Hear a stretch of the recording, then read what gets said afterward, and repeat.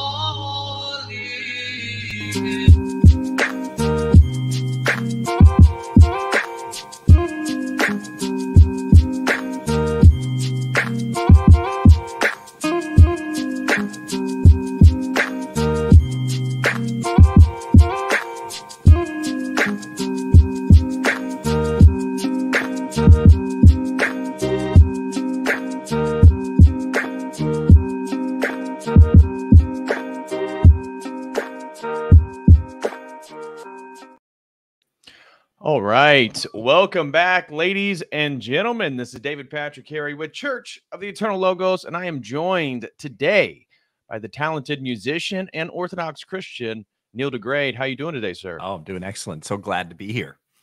Hey, I'm I'm glad that you are here. Uh, and and a major thank you goes out to John Hears for linking us up. Um, Love so that I, guy. I appreciate him being a mutual friend. Uh, to he said, hey, you might want to you might want to have Neil on for a stream. Okay, and then I found your stuff over with Jonathan Pageau. Then I found your music that you sent me, dude. I'm a fan. I'm a big fan of you and your wife. Uh, again, for those of you who aren't familiar, Neil and his wife um, are the musicians behind Dirt Poor Robins. right. And uh, yeah, and maybe today we can listen to a little bit of your music while we while we stream, and you can kind of give some context or anything. But I'm excited for today's conversation. We have a lot, uh, a lot of overlap, and and commonalities. Uh, so thanks for coming on, man. I really appreciate it. Oh man, yeah, of course, my pleasure. Love, uh, love getting on to talk. I've been following your channel for a while, um, so at least at least two years now. I mean, Oh, and, wow. yeah. And I don't have a lot of time for long form content because I use my ears all day long. Right. um, and then with Yeah. kids and stuff afterwards. But like Yeah. literally anytime I travel, I've got some of your stuff queued up. Uh, I like the Lord of Spirits podcast. Um, that zany podcast is kind of amazing. And Right. uh, you know, a few other things. Obviously, Jonathan Pageau is a friend of mine, and uh, so we check in on each other's content. But yeah, like really, uh, I just I just recently watched your conversation with Dyer about Vervaeke. I thought that was so good. oh, um, thanks. Yeah, well, because I've been going back and forth on on him for a while. Uh, because there's a lot of people in our corner of the internet that are excited about him, but there's always been something a little off. And Mhm. some of the stuff I had already articulated to myself um, and to others, you guys nailed. And then it just it kind of rounded out the position because you seem to know a lot more about Stoicism and the actual philosophical categories he's accessing, and so that was really helpful to me. Well, thanks. I appreciate that. I'm humbled that you listen to uh, anything I do over here. So thank you very much. But how did you and Pageau? Because you mentioned privately, you you have a new, you have an event coming up that you're a part of. How did you and Pageau link up? Yeah, yeah. So the event you're referring to is uh, the Symbolic World Summit, and that's happening on Leap Year 2024. It's a three day conference in Tarpon Springs, Florida. Uh, we can probably, I don't know if you can put a link in the description for that. Uh, that would be a great thing. So I'm leading the uh, the artistic side of um, that Symbolic World event. If you're not familiar with uh, Jonathan, I think most people here probably Yeah, are, he's but been on the channel before. yeah, so he's you know he's into typology, symbolism, Yep. and not symbolism in the sense that whether people use it in a modern way or maybe in a Protestant way of saying it's like oh representation. No, it's an actually present a presentation where you're drawing out how things exist fractally and then can then can stack all the way up to where we can begin to see the unseen God and how He's put those attributes in the world before us. Uh, and the, and all those symbols end in Christ Himself. So um, yeah, so Jonathan and I, uh, so how we started talking. Uh, let me think. Um, okay, so here's what happened. It was around 2008 2009 um there was a shift happening in me and it has to do like people call this the meaning crisis and other things like Yep. that but i was making art and we're on a record label and uh, they're trying to get us to write songs that are radio friendly and Okay. i'm not i'm just i understand that it needs to be a business at the same time but it just wasn't coming naturally to me uh, Mhm. I understood to kind of like you. There's there is a way you can kind of hack that system, um, and it wasn't as bad then. So pop music in you know around 2008 still had some variety to it. Uh, it wasn't so repetitive, and it wasn't so. Um, I would say it wasn't quite as scandalous. Um, you know, people's attention spans have gotten shorter and shorter, and now that people are just resorting to whatever they can do to get someone's attention immediately. right. Um, and so you get some kind of scandalous, you know, low, unpoetic content. So my wife and I, she was the, I I was one of those kids who grew up and I wasn't really into lyrics. And uh, my wife was an incredible lyricist. Like I just listened to the music, and eh, there were so many songs I'd sing them, and I didn't even know what the words were.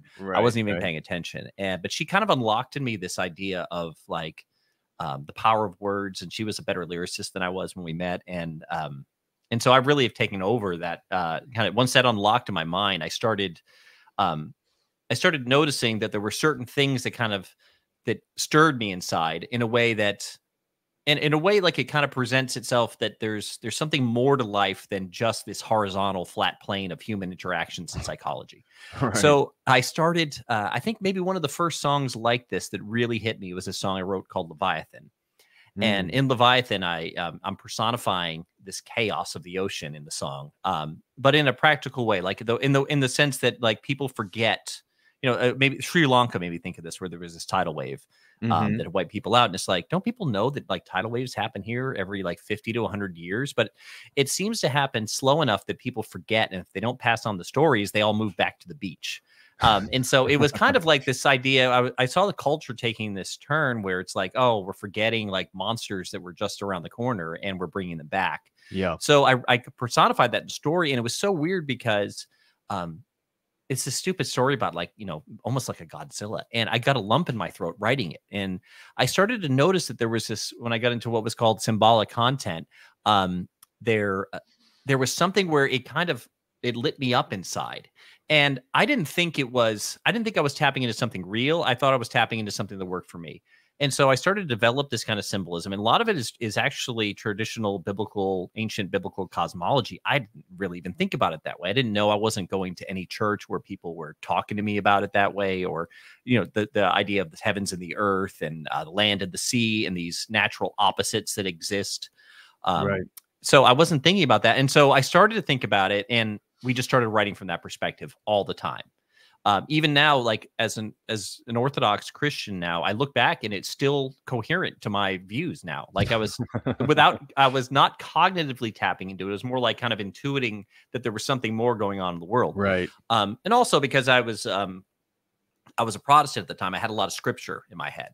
And i seemed to have different takeaways than most people did uh, of scripture around me, and they did not see my takeaways as valid. Their their takeaways were normally like kind of like that documentary, historical, um, psychological takeaways, and I was getting this cosmic image of what was really going on and how coherent it was across the Bible. So anyway, I started writing like that, and then by around 2016, um, I was looking online to try to find anyone who was to see if what I was tapping into was valid. And the first person I came across, and it was before he was famous, was Jordan Peterson and he had this book called Maps of Meaning. Yep. And it seemed like uh, some of it was really impressive to me. It seemed like he was reaching for something he really couldn't get his head around, but at the same time, compared to what the the rest of the world understands, just floating around out there about symbolism and how it functions in stories in the world, he seemed to be doing better than most people.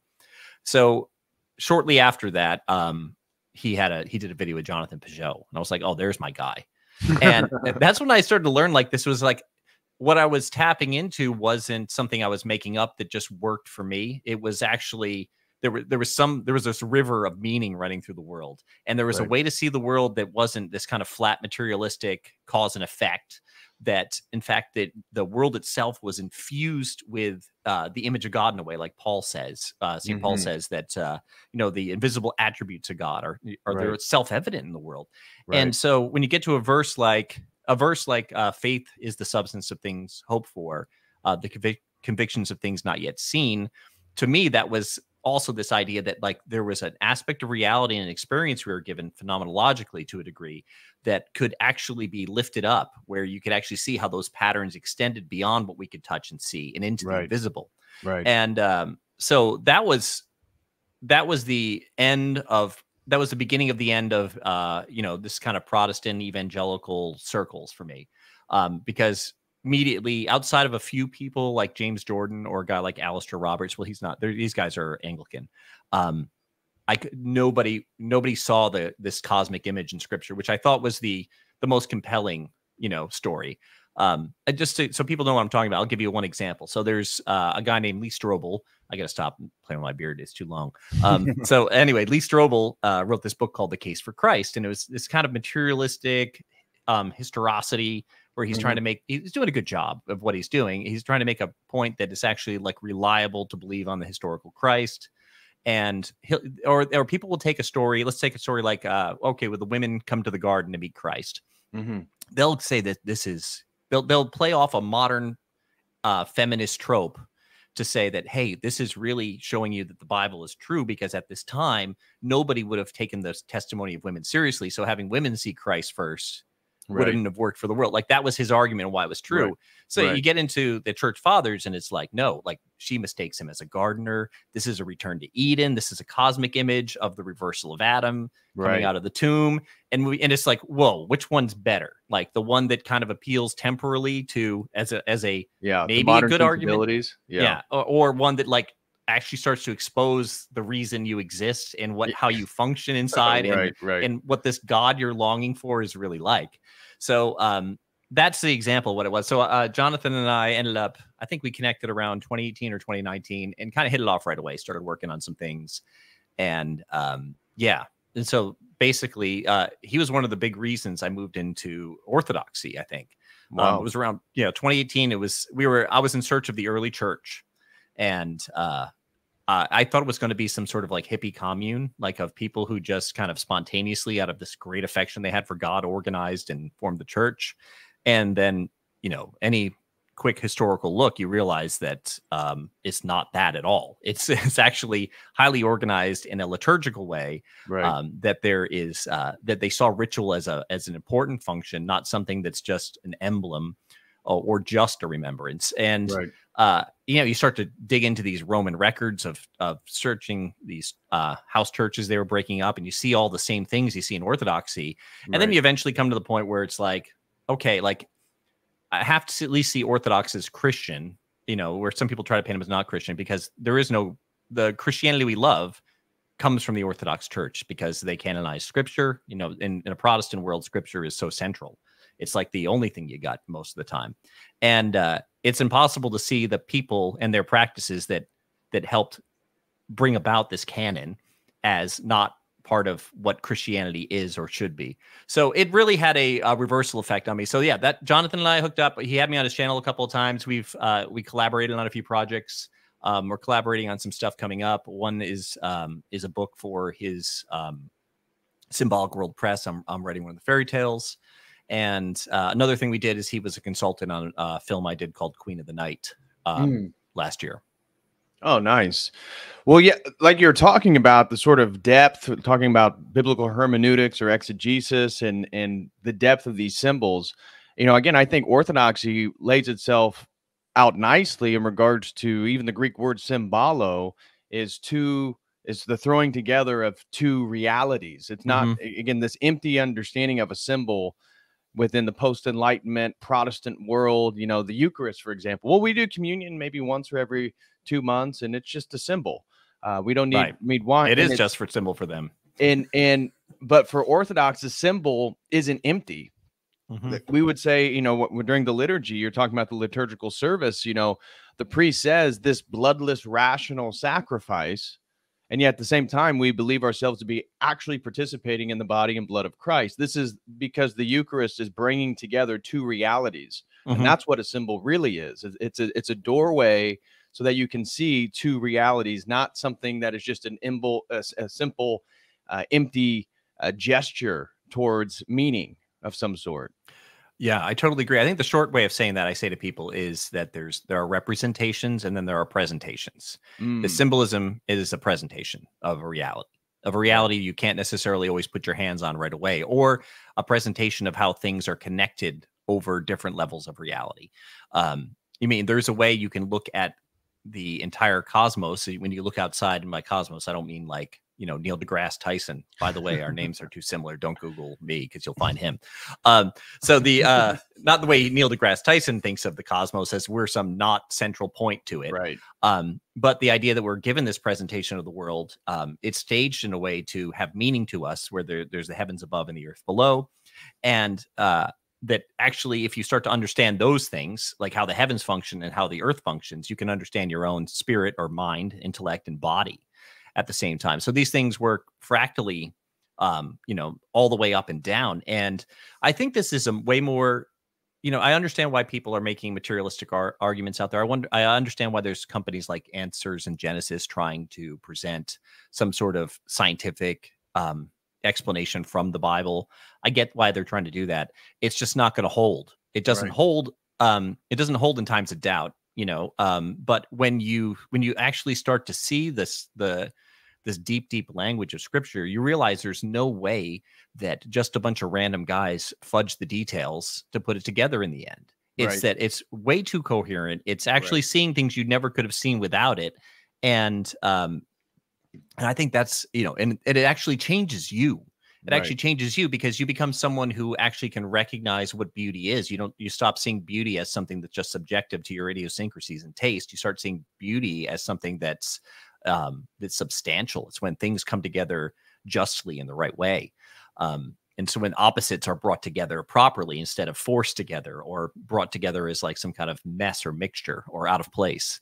right. So yeah, I don't. Um, I, I recommend this kind of thought for everyone. I the, the Orthodox Church is the is really has been the answer to the current crisis uh, of my own life of this flat worldview where it's like, oh, okay, I guess I'm supposed to. You know, I, I I tease Jordan about this because he talks about lobsters and lobster evolution. I was like, dude, that idea, that argument has a shelf life. It's going to change.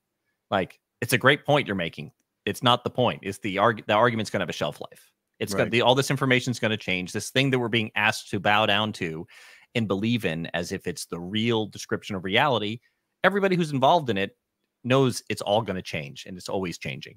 Right. So uh, I can put my faith in that, or I can put my faith in something, another way of looking at scripture, which is about the unchangeable and the actual uh, reason and uh, presentation of the heavens uh, and the pattern of the heavens in reality itself. and and that's why I think that in regards to this meaning crisis, orthodoxy is the solution. It is the answer. You know, we were talking about you mentioned Vervaeke, the stream I did with Jordan, and his whole thing is like and solving the the meaning crisis by creating a mythology around science because Mhm. science lacks a mythos, and then we can form a an ethical system and here then we can have the ai come into emergence and that's going to be our, our silicon sages. That's going to be the way in which we'll be saved and we'll have these wisdom figures to guide us into the future. But that's not solving the meaning crisis. Uh, that's not giving you depth and what you're talking about how when you encountered scripture began to look at things differently i always say to people that's your again encountering the logos encountering jesus christ he heals the blind. And so for me that's what i always try to tell people and this is the hardest thing to give to your friends or your family or the people closest to you when especially when you go on this orthodox journey because a lot of people see it as a little bit uh, too much. And so but when you go down that journey and you begin to see things you didn't see before like literally like the blind man in scripture christ is healing your eyes so that you have eyes to see and ears to hear you just want to give that back to other people. But you can't because it is a sort of personal internal journey within your own heart in this mm-hmm. in the search for truth and meaning. And Yeah. so it's, it's not it's not a consumeristic item that you can just give to people for you know 599 or you know join your patreon. It, it's it, you have to hope that people are, or be some type of catalyst for people to go search it on their own and and orthodoxy i think is you get it all. You get it you get the christian faith that's unchanging. You get the history. You get the depth of the theology. I mean that's one of the things i love about orthodoxy is that it's just endless whether it be hermeneutics looking at scripture going back and, and uh, understanding the history of the saints um, or so on. It's just it, that is the solution to the meaning crisis and now you have a you have something foundational to stand on especially as a young man in the 21st century where there's nothing for you to stand on.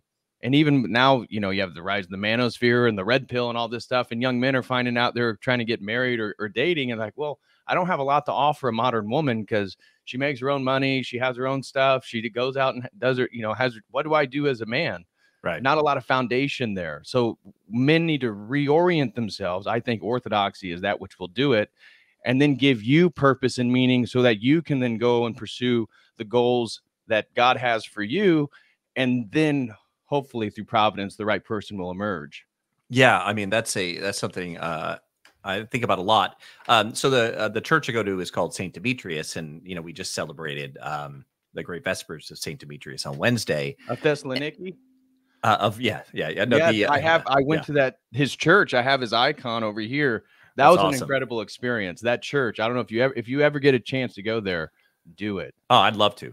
Um, so there's something so wonderful about that story, and you know, when you have it's something like as a Protestant, just sounded crazy. It's like, why do you have a patron saint for your church? Like, well, why is your church named Relevant Church or something like that? Like, what? What are you Yeah. talking? At least we're we're we're aiming someone who gave their life, you know, and and as an example to follow, and and and you're trying to like, I don't know. Anyway, um, I don't want to be mean. Um, so anyway, the uh, Saint Demetrius story is great for someone like me because um, there's a there's all these young men showing up at church out of nowhere, like from the internet. They come in, they'll recognize me from something they've seen. They'll you know they came in through a channel like yours or Jonathan Pageau, or it's like sometimes even Jordan Peterson doesn't realize he's sending people to church.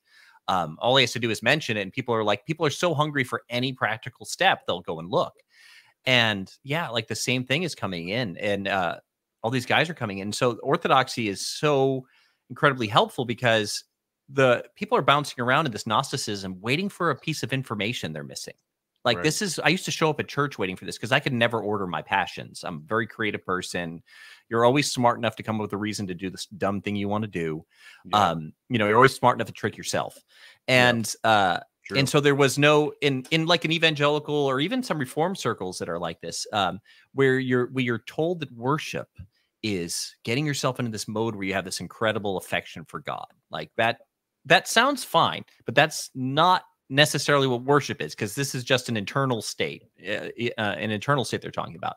And so the problem with the idea that you're supposed to, you know, go into these services and and manufacture some kind of uh, affection or some kind of passion, like you're supposed to awaken the passions for this. People don't realize, but they're actually training themselves the opposite way of how Right. to order your passions. You're because now these people go to a football game and they're cheering real loud and they're like they're holding themselves in contempt because they're like, "Oh, I don't cheer this loud in church." You know, uh that must mean I worship this more. Like they don't understand, you know, I don't I don't need to get into the definition of worship necessarily, but Mhm. I couldn't order I could never order my passions. I kept waiting for like you show up at church and you're waiting for that one thing that's going to be said in a sermon that's going to fix the problem. And that's not just that's that's the modern problem in general of the Gnosticism because you can go to Instagram and it has nothing to do with Christianity or anything. Right. And it's like, here's how you're going to fix your diet problem. Here's the piece of information you're missing. Here's this, you know, this other piece of information you need. Here's the thing you need to know about personality types. It's like it's all about it's just all about information. And and it's funny because even in these Christian circles, you will criticize Gnosticism and then at the same time make Gnostic arguments and, and act like a Gnostic all the time. So uh, the the ordering of the passions is uh is very important. So as I started to like, you know, I was around I was around a lot of I don't want to drop people's names um because uh, it'll put them in a little bit of bad light, but around a lot of very famous people in the Protestant world, and they had an advantage that really wasn't an advantage to them um, for keeping their own passions in check, and that was Mm. reputation. It's Mm. it's hard for people to recognize this if they haven't really properly ordered themselves or begun to order themselves. Because like I, I can't say I'm properly ordered, um, but or, ordering your passions, um, you have to go out and so they, they don't understand like if if you're having a problem, let's say you're having a problem with alcohol or pornography or something, and I offer you a million dollars. I said every month you don't go near this stuff, I give you a million dollars. You're going to find that you hey you maybe had more agency over that thing than you thought. right. The problem is that's that's just moving the furniture around. You're swapping one passion for another. You're right. swapping your passion for money. And so a lot of the leadership, right? Like they might not actually what they're preaching isn't working in them, but they have something else at stake that allows them to hold their ground, right? At least publicly, hold their Mhm. ground to kind of stay on the course. And so um moving into orthodoxy and you realize that there's all this stuff in scripture for one if you just want to talk scripture you're papering over because you're not even engaged in the idea of fasting like with any kind of biblical understanding or or understanding that the church has historically had of it right. you're not engaging uh, prayer the same way you're Right. you're um and so when you start to look at those things you start to realize that you're like oh my gosh like this was always meant to be a marriage between faith and action right the Right. two things you can't separate the two things from each other or you don't have Right. fruit like you can't make a baby without a man and a woman right. you know say the man is faith and the woman is action like you can't it doesn't happen and this is you know james is very clear about this and all this stuff i used to paper over forever and then you know after like a, a confusing year of just finding the orthodox church beautiful but not really be able to get my head around it all of a sudden it starts to click inside you realize that um you, you start to realize that oh all of this stuff is in there so i i have dominion over my body right, Right. so that my body doesn't flip the roles where the mob takes over and starts to run the government. Um so that this has been so helpful for me because uh, that's really what's going on. Like you can see it in you can see it in in the i read the life of moses by saint gregory of nyssa. Oh yeah. um that right incredible book. Yep. but he started you know breaks down the life of moses for people who haven't read it in a way that you can understand how to how to live for christ. right, um and so when you start to see things in the story that are confusing at the first time you read the story you're kind of like why do these people want to go back to egypt already? It's like they just left. Don't they know better? Like that that and you forget like you wake up in your body every morning it's going to be hungry. Like your body like which the people represent it's going to ask for the same things it asked for. Even though you maybe had a bad experience you feel a little regret about something you did wrong it's going to come back Mhm. right that it may have left the house for now but it's going to come back unless the strong man enters and uh, can keep it out so uh, orthodoxy presented that to me and two especially someone in art in because art you're always trying to deal with beauty and it made sense historically what happened with art in christianity where um, you know in the west at least where the catholic church was building these incredible beautiful cathedrals and um, but this tradition this tradition started to get stranger over time. You know, we look at the Sistine Chapel and we say, "Well, that thing's beautiful," and also it's like, well, there's God drawn like Zeus and Yep. naked angels, like little Yep. boys everywhere. Naked It's like, angel babies. Yeah. Okay, we got a problem. All right, this is we got a problem here because why? How did we get from iconography, right? right. Um, how do we get it's from- so modest, right? Yes. That's one of the things that Orthodoxy explicit. What reason why we don't do statuary is we don't want to inflame passions through our symbolism. And so Mm-hmm. Right there, you see that. Well, it seems like you guys are inflaming a few passions over here.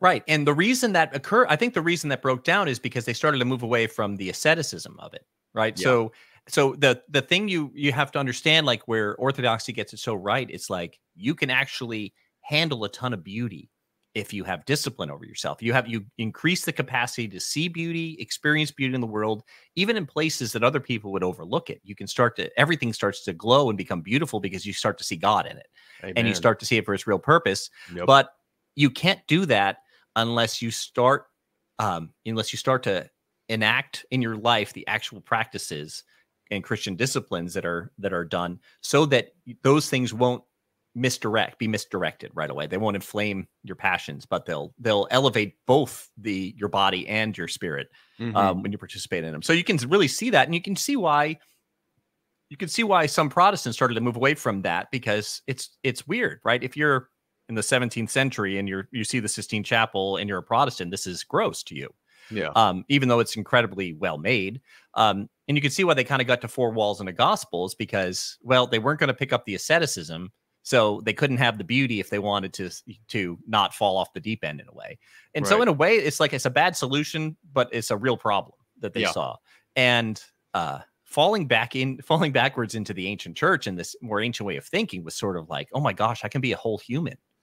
Um, I could be a whole person. Like I can, um, and I can aim higher too. The uh, well, I don't want to make my next point uh, in case you have something you want to say for that. Well, I was going to so we can ask go for a you while. what, what your spiritual background was growing up.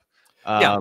Because I'm, I'm curious talking about Protestantism and you're the creative type. I kind of, even though I'm not explicitly a musician or an artist in the traditional sense, I think I sort of a uh, creative type, especially in regards to ideas. And so I, I got drawn into the occultism, the esotericism, drug Mhm. use, psychedelics, all that type of stuff. Yeah.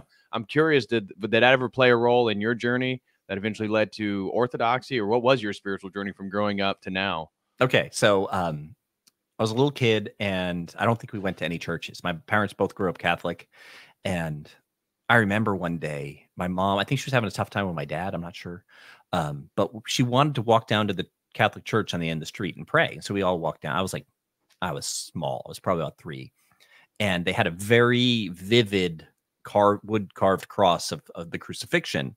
And I remember going like really as close as they would let me walk up towards it because there was no one in the church. My mom just wanted to pray there, but I kind of wandered up to the front of the altar and I could see like there was like even like they went through the the I'm not saying this is good, but they went through the detailed point of like, you know, there were swollen marks where the nails had gone in and there was representation of the blood. And I was like, what the heck is this building? Like, why is this the thing they have on the wall that they all look at? Like, it was just, it was so fascinating to me. Um, and so I think my parents, who were having trouble, decided that they were going to go back to Catholic Church. And, but I don't know if they wanted to go. I think they were just like, we're starting to spin off the rails here, maybe. And, you know, our marriage isn't going great. So maybe this could help kind of thing. Right. Uh, so I was sent to Catholic school and Catholic church, but eventually it was the kind of thing where like I don't even think they wanted to go. They would like drop me and my brother off at it, and we wouldn't actually go to church. We would sneak out the other door and go get donuts. Um, and so it was around the time I was going to be confirmed into the church that uh, I started to think about it for myself because there I was never I never fell into atheism or anything like that. Um, but at the same time, I was I always saw God as like a genie who was going to help me get what I needed. Like- oh, okay. right that kind of that kind of version of it and i had an uncle who had a pentecostal church he had started and they invited my brother and my cousin and i who hung out we were always in bands i was always i was a recording artist from my teenage years um, and uh, he's like hey listen we got a problem with my youth group it's all girls and we don't have any guys can you guys come and i'm not going because i'm thinking they need guys i'm thinking there's a lot of girls there so i'll go Yeah. uh, and so we go and it's a Pentecostal church and it's so weird. It's just super weird. But it's I always tell people like this, um, it's amazing like what if Christ is in it, even a little, like what can happen? Right. Uh, because it started, I started, I think, a journey there um, that brought me to where I am now, but it started there, you know. Um, and so I would have weird thoughts growing up too. I'd have, so when I started playing music, it- this doesn't make any uh, sense why I had these thoughts, except for the fact that there's like some kind of angel preaching in your ear or something like that. But I was like, I remember sitting there one day and I'm, I'm like, I'm gonna try to write a song, and I completely start writing a Christian song, like about like the most high thing, like, uh, and I'm like, what the heck is this? This isn't gonna get me girls. Um, I was like, this is so stupid. What am I doing? And I kept writing Christian songs. Like, um, I didn't even have a label for that. Like, I wasn't listening to Christian music at the time. Um, uh, or Stryper or Petra or whatever those bands were. And uh, I couldn't, I, and I kept thinking, I had this thought in my mind. It was like, it would just come back into my mind, almost like an, almost like, I guess it's a, so then it was almost like a demon to me, but it was like, hey, you should, you should, you know, write music that glorifies God. I'm like, where's that thought coming from? I'm like, this is so strange. I don't know what's going on here. And um, so I didn't know what to do with it. So there, I always felt there was something stirring in me um, and so I never kind of went off the deep end in that capacity. In high school, I loved the identity of being kind of a rocker who was straight edge. oh, um, okay. You know, so my my, my dad um, was recovered from alcoholism for a long time, uh, but Mm. he was a he was an alcoholic. He was a famous uh, person um, in our part of the country. Um, it, we, I grew up in New England, and he had a radio show that was really popular, and so everybody knew my dad. My dad was on billboards everywhere. Uh, Ah, if I said my last name or if I got pulled over by a cop, they knew who I was and they let me go, whatever. Um, that kind of situation. So, um, so yeah, anyway, um, that's what my, my house was like. And so I started noticing early on there was something wrong because it was like a Pentecostal circle. And this I could describe, I'll give you a little, um, hindsight, um, before I like go through the experience is that I all the schismatic churches in the world are all about the thing that makes them different. Like that's it. Like if you're Pentecostal, like the songs are going to be about all the things that Pentecostals do. Like it, the sermons are always going to push scripture back towards, hey, this is about praying in tongues or speaking in tongues. This is about healing. This is about, you know, um, their versions of that thing. You know, you go to Reformed Church, everything's about God's sovereignty, penal substitution. I was part of a songwriting retreat, um, and it was a Reformed group, and I realized right away um, that they didn't. Every song that they didn't like the lyrics to, I was just I would just tell people like, listen, if you just change it to substitutionary atonement, they're gonna like your song, right? You know, that's that's the secret. And everywhere you went, you realized it was about like everything was about the thing that made them different, not necessarily what we have in common. right. And there's this massive scandal in this. There's this uh, like where you're literally competing against people next door who are supposed to believe in the same thing. You're, uh, you know, there's this kind of fear that people are going to show not show up at your church and go to other churches, and um, so there was this scandal that was always very troubling to me. Um, and so that by the time, so by the time I think uh, it was maybe 2017, I was like, I got to get out of here. I got to get like, because I've I've tried everything in those circles, and you'd learn something new. So if you went from let's say just straight old evangelical born again Christian world into more of reformed Calvinistic world, you gained something a little bit. You gained a new way to think. You gained a different perspective. At the same time, you were very. It was very obvious that it was super empty. Like Right. it was thin. It was thin. I wouldn't say completely empty. There are things in there that are that were helpful to me and are still helpful to me, but it was too thin. It wasn't enough. It wasn't. It wasn't a whole life. Um, and so it wasn't certainly wasn't a way to live either. It was just a way to think. And so all these different circles where hey, we do music and then we preach at you for forty five minutes, and you won't remember a thing we said a year later. Um, that was kind of um, what that circle was. So uh, I was always kind of an outcast, even though people people seemed to promote me ahead of my character because of talent. You know, it's like, hey, if you can make music, we are all about music. You do video, you do art. We're all about those things. Or like, we can overlook the fact that you're a total madman. Um, you know, so that was always I was always a madman to them. Like, and I probably was. I was probably a little bit crazy. And uh, um, yeah. So anyway, that's kind of that's kind of the journey I took. Also, um, like orthodoxy I, I think it was really an answer to um some of the conflict I, I had in the world about uh the politicism of the church like the way things were so politicized because i never really identified totally with a party and the way i saw it like so for example i'm kind of i hate to say this because it's going to sound wrong to people but i have a liberal temperament meaning that I'm interested in something new. I'm interested in in seeing what kind of good potential there is on the outside um, of the things you're already doing. Uh, at the same time, you know, as you get older, you start to realize like you can't always reinvent the wheel. You can't, um, you know, that if things can only be a little bit new at a time or they fall apart. And so I was never really um, like politically liberal, but as a person, in no matter whatever conservative circle as I was in, I was always the liberal guy, like who was like looking at the thing no one else was looking at. Um, so I couldn't escape the politicism though. I remember myself, I would just get on Facebook and it was like when the thing first came out, and I like I didn't know what to do with myself. It's like just someone saying something I didn't like. It's like, oh, this is my job to talk to them about this right now. It's like, no, it's not. It takes took me years to learn that. yeah. And so I'd just be sitting there just trying to dunk on people on social media. And I was like, oh, I don't think this is the way. Um, you know, how do we how do I solve this problem? And I remember it was the first divine liturgy I went to was at St. Michael's Church in um in Louisville, Kentucky. And Ah. they uh they're you been there or you know I've I'm I'm well aware of it. I have not been there. Some guys at that church been asking me to go. Oh yeah, for sure. Beautiful. Uh Father Lucas is my uh spiritual father. Um and uh that church has beautiful choir, like one of the best chanters I've ever heard. A guy named Stephen Jacobs. He's just so powerful. Um, it's an enormous church, like 500 families. And I just went to the service and I stood in the back and I was so, it wasn't, I wouldn't say irrationally, but irrationally moved. Like it was like I knew there was something true going on, but I couldn't, I didn't know the theology of it yet or anything like that. And I, I heard the music and it's funny what sticks with me over time, but they, they, there's this moment in the service where they like, they pray for those who love us and those who hate us Mm. right? And I was like, I hate people. Like I hate people that don't agree with me. Why? Like why? Like I don't I don't really treat them like I hate them. Like I'd still do good things for them, but at the same time there's a part of you that's like you don't realize if you're honest with yourself um what's really in your heart. And when I heard that I was like um I kept thinking of Father forgive them they don't know what they're doing.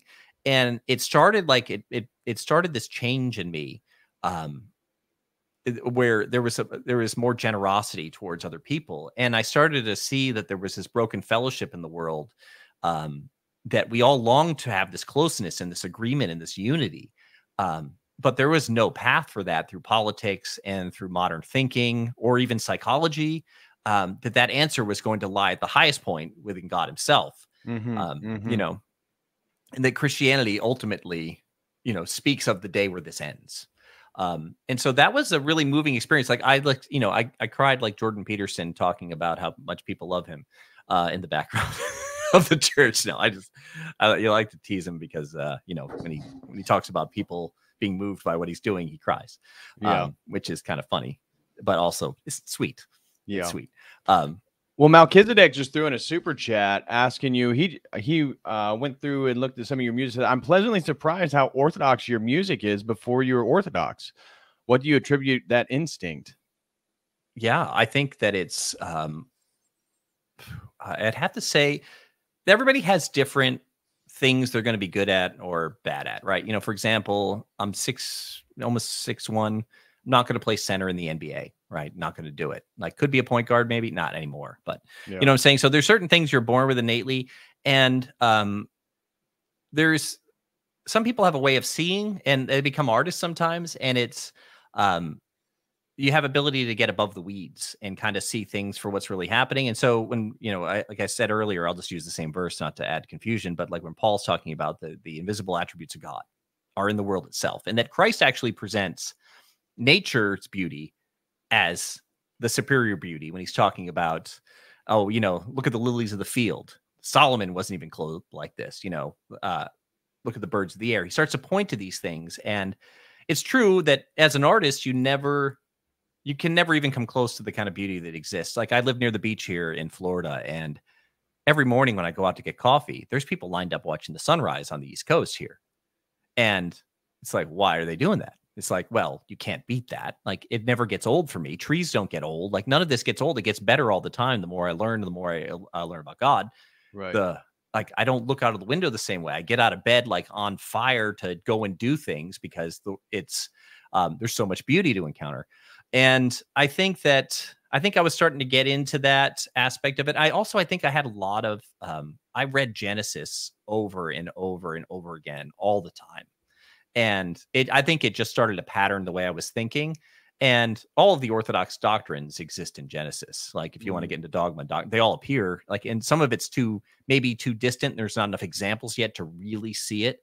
But um, you know, that that sort of uh I think patterned my thinking. The fact that I was so obsessed with Genesis and was trying to get to the bottom of it, and I was thinking about it symbolically.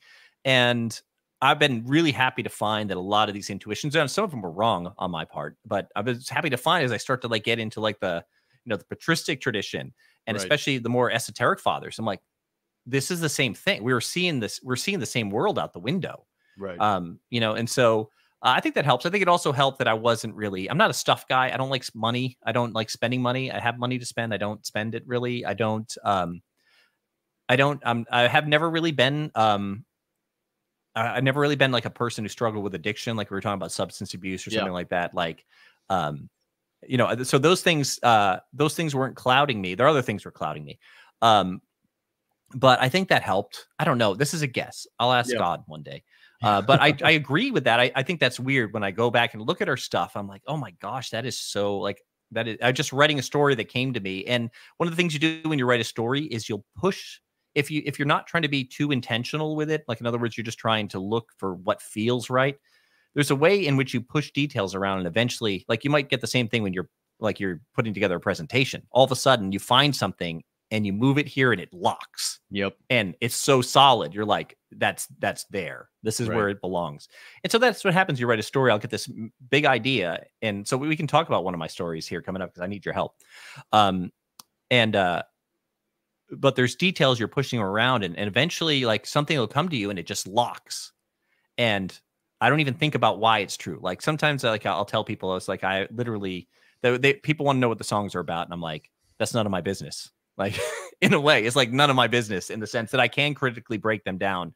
But part of the joy of making art in the sense that like solomon talks about like you know putting this dark riddle forward to people is that it's not um you know just explaining things to people isn't always the most helpful way. You can dangle something out in- into the world where it's implicit and then when people make the connection themselves now they own it as opposed to someone told me this answer right? But if you can help people to figure figure what's true out for themselves and and find like and and own this for themselves and their own experience i think art can do that if it just if it buries a treasure in the sand just deep enough where you don't can't find it right away but if you're willing to do a little work there's a treasure there. Um so i think that's also i think that's also another way to do it. So i try to leave um as much as i i like to think theologically and whatnot when i'm coming up with art and i think this is why my art our art seems to resonate across the aisle um is that i'm not i'm not imposing i'm, I'm trying not to impose propagandistically something on it.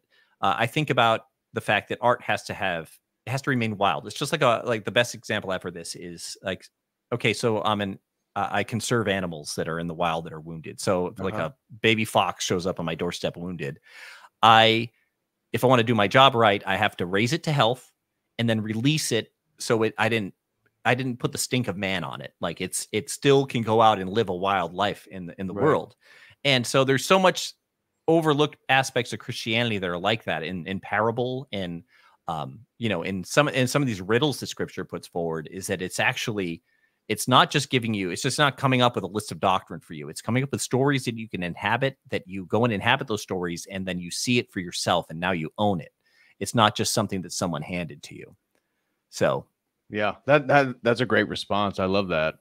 Um, I was also based on my listening to your conversation with Jonathan Pageau. I'm curious if you wouldn't mind sharing how you actually met your wife and how that led into uh, your your band, your music career. Um, yeah because okay. I thought that was I thought that was hilarious how that how that Well, this is hard. This is this is a good topic. Sometimes my story is not always helpful for people because, um, I mean, it, I meet a lot of guys that they need to do some work. Um, they need to do some work to learn how to present themselves as attractive, right, to Right. someone else. Um, and my story is going to sound a little bit like God just dropped someone in there. okay, so that can happen. All right. But you you you dealt and developed the skills to even be in the position to meet your wife. That's and true. I think that's and that's part of what even uh, talking with some of the young young men uh, that follow my channels, mostly young men, um, that you you do have to sort of make yourself as a man. You have to gain some type of skill Mhm. set. You have to uh, you know have have a directionality and some momentum to your life. And Yeah. I think unfortunately, just given the society, and I've done so many one-on-ones with young men that they just have no masculine role models. That they're, Yeah. you know, there was no father figure. Uh, their parents were divorced, and and so now they're in their early 20s, and and they're like, well, I'm Orthodox. I thought I was promised, you know, the virgin trad girl that's going to be my wife and give me babies. It's it's not that easy, Yeah. man. No, I mean, yeah, yeah, for sure. No, I see. I, I have this conversation all the time, David, like with people all the time. And um, so, uh, have you, did you see the? As we get into this, like, I'm, I'm taking a long time to get there. Uh, did you see the Arnold Schwarzenegger documentary on Netflix? It was about his life. I have not. I heard it's actually pretty good. I, I got I got turned off on Arnold when the uh when the coup happened and and he told everybody to f their freedoms. Um, Oh, ha- hadn't invested much time, but I actually have heard both his autobiography and the documentary were pretty good. Yeah. So what was neat about the documentary, I think there's some there's some helpfulness to someone if they if they get this idea. Like Arnold's telling to people, like at his worst, he was just trying to figure out how to be useful. Like if I can be useful, then people need me, right? Right. Um, so he um I think he starts to get in the right direction. So the the reality is is that um so in Protestantism, I was aiming too low. Like I didn't I was just trying to be like my pastor or someone else around me. But nobody was really trying to be holy. They were trying to be smart, you know, Ah, yeah, and they're yeah. trying not to mess up. Yeah. right? Because it's very different. It's such a rational belief system. There's not a whole lot of mysticism. I think it leads to sort of, well, I just need to know more, know more, know more. That sort of underlying Gnostic presupposition you mentioned earlier in the Yeah. conversation. And so, um, like, oh, for example, like my own priest, uh, Father Joseph, um, Saman, he would hate that I mentioned this, but he really strikes me as like someone like I, I seldom met in my lifetime because it's he's actually trying to be holy. Like he does things that are almost impossible to do all the time. Right. He's got story after story, and you can be with him and watch the stories happen. It's just incredible. And so it's a different expectation of what a human can be. Because I think if you grow up Orthodox and you're in a family that really takes it seriously, it's not just kind of going through it ethnically or culturally or Right. Or socially. Um, you're not going to be asking those questions that Protestant kids ask, or like, where are all the miracles that we see in the Bible?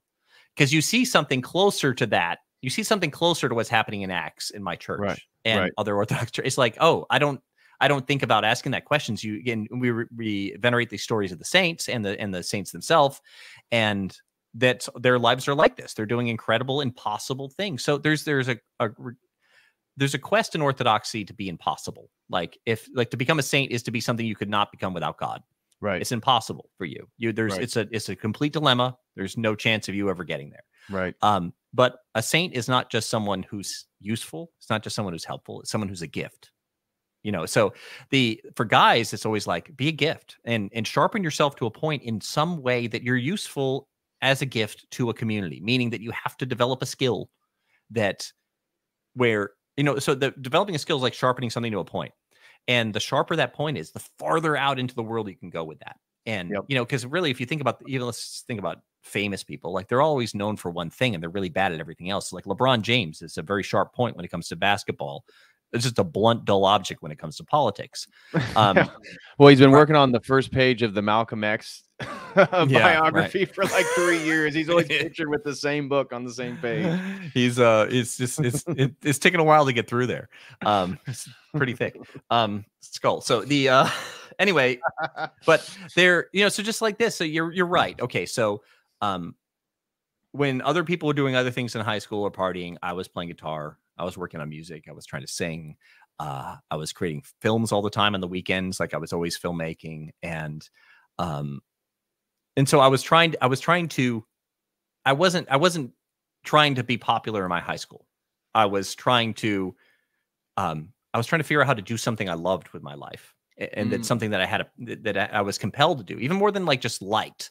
Like music became a thing where it's like I can't stop it. Like if I even if I didn't like it, I would just keep going because I'm compelled now. It's like it's it's part of I can see I can see God when I'm doing my job well, I feel intimacy with God. Like when I serve in- my church in any way, um, I feel intimacy with God because you can you can sense that it's not just this in a Protestant way, just trying to look back and forth at God, like this one-on-one relationship, which is fine. Like that's an aspect of Christianity. But there's this aspect where you know God takes you up and shows you His kingdom and gives you a job to do, and now you're you're moving forward together into the world. And so uh, music has kind of turned into that for me. Before I was really even close to God, I could sense that I knew that like music was something He put here for us. That we could. It was a presentation of the unseen, Mhm. um, and it added depth and meaning to the world. Um, and so I was. It was important that I use that responsibly. So anyway, I did develop that. I worked. I worked my butt off as a kid. Um, and okay, so moving on in life, I was having trouble getting myself together as a man. I was 22, 23, uh, maybe 23. Um, and like I grew up in the part of the country in New England where um, southern New England, like between Boston and New York, are some of the harshest, most straightforward people in the world. And it's it's fine. Like I was totally fine with that, but I was a dreamer. And so we would used to refer to it this way is that like telling anybody something you dreamed about doing or something kind of grand, it was like a turtle just putting its head out of its shell to get hit with a hammer because it Right. was instantly everybody try to put you in your place. And you're like, fine. Uh, build some resilience. I actually kind of liked that environment. I think it was good for me. Um, but anyway, the um, you know, dreaming was it was not the culture for that kind of thing. So I was having trouble putting together because everybody was saying that like even my parents who were entertainers uh, were kind of like you need to get a real job like this music thing's not going to work out. Um and even though it was my job like literally paid for it since i was 13 um i was kind of like dang they're right. Everybody's got everybody's saying the same thing. They got to be right. So i'm trying to find a day job right that i could be entertained with. But it was just like my high school experience of just utter boredom and torture and feeling like i was in a cage in a prison and everything was moving too slow and nothing was challenging enough. It wasn't that the job was too hard. It it was generally too hard for me because I needed some kind of engagement. So I couldn't figure out what to do. So I was so poor. I was living in Providence, Rhode Island, in like the poorest part of town. Um, and people, it was so poor that people, I had a car, and the first night I moved into my apartment, they stole everything from it except for the the body of the car virtually like it was gone i had no wheels nothing um and uh so that's so I now i had no car and this is how i met my wife in a way. Um, so I would bum rides off friends or whatever, people in my neighborhood that I knew, or um, my roommates. And eventually one night, my roommates are going out and they're like, Hey, I'm like, where you guys going? They're like, Oh, we're going, they, they'd say the name of the town. We're going here. I'm like, Oh my gosh, this is on the way. I need to go. You guys, can you drop me off, you know, at my friends? And they're like, dude, we're sick of driving you around. You ever give us gas money? You know, I was total schlub. I was a mooch. And uh, they're like, you never give us gas money. They're like, "Oh, we're going to audition for this musical. And uh, as your payment tonight, just for our, you know, amusement, you're going to have to audition too. And I was kind of like, oh, gee, really? I'm going to have to audition for like, I think I'll stay home. And they're like, you don't understand. It's this nationwide search. They've already cast people from California and now they're on the East Coast casting. They're just missing the leading man and we're going to go audition. And I'm thinking in my head, these guys are never going to get the leading man role. They're of course, I never thought I was going to. Like, I just, Right. I hadn't done musicals since high school and I, they weren't really, musical theater wasn't really my thing. Um, so anyway, we go to the audition, and it's a weird audition because it's in this old church, and all the people auditioning are sitting in the room together, which is, as you, if you I was serious about the role, would have been a very uncomfortable moment because there were some really good singers and stuff like that. But you, it was just so funny watching it because everybody was scared, so scared. You could see it in their body language, you could see it in their neck. There was all this tension, and their sweat on their brow and their upper lip yeah. and everybody, even my friends, they get up there and my his just voice cracks and he just says terrible. And I'm like, oh, he's so much better than that. That's too bad.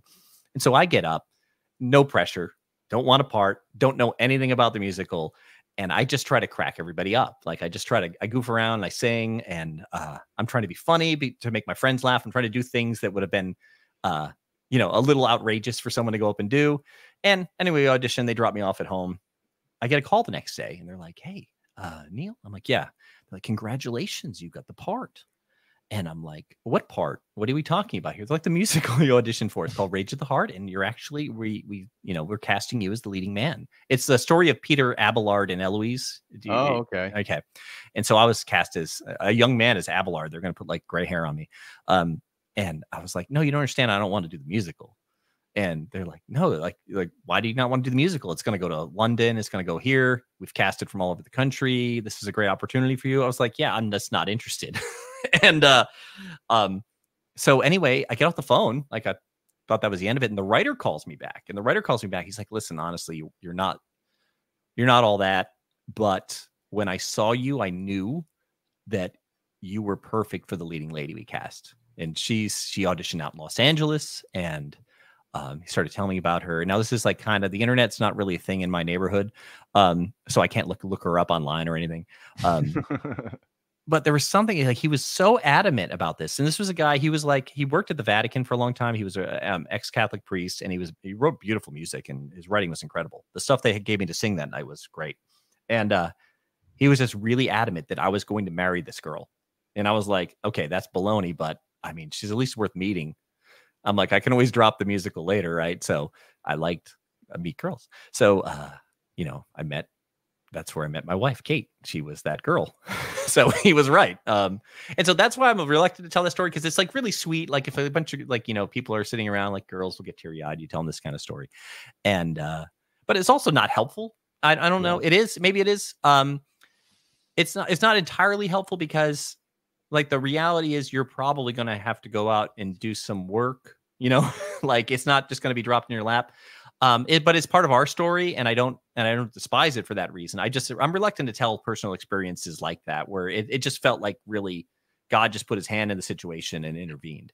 Um because kate's been like she's like me with a different font you know in in a different font is like the way i say it. Like we have so much in common which is uh, which is so helpful.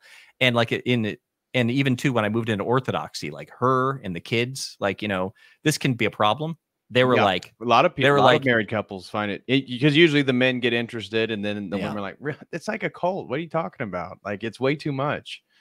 and so it turned out that kate who had no background in these things at all was um she was painting icons in high school and stuff in art class like didn't know what they were and so when she went to the church she's like oh i found my home and so yeah it was pretty wild uh so here we are and uh you know that's it I, I love getting to talk about these things i don't get to talk about these things much because i'm never on like uh any kind of orthodox or christian podcast it's always uh you know musicians who want to talk about my guitars or something Right. so uh, it's fun to get to tell this. That's why it's fun to talk to Jonathan too, um, because I don't hide these things. Like our, our music, like people are like, "Oh, you guys a Christian band?" It's like, am I like, did Jesus die on the cross for my band? I don't know if that's the right label, right? Like, I mean, there are some definitely some. It's definitely Christian people with a Christian worldview, but it's not the Christianity with. Like, I don't like to answer that question too because it's not the. Um, when people out there in the world just hear the word Christian, they're thinking of like this tourist trap televised version of Christianity, where it's not like it's like you're going to Greece to see the Acropolis, and you and and these people on TV get stuck in like this tourist trap on the outside where they have a plastic version of the Acropolis and came home, you know, with like a mug. Um, because some of Christianity is presented to the world that way, and like it's like no, if you actually sat down and talked to me about what we're what we're involved in here, it's very different in in uh well you, even even smarter than you have imagined in your head like that the way they use that word. So we've never used that label.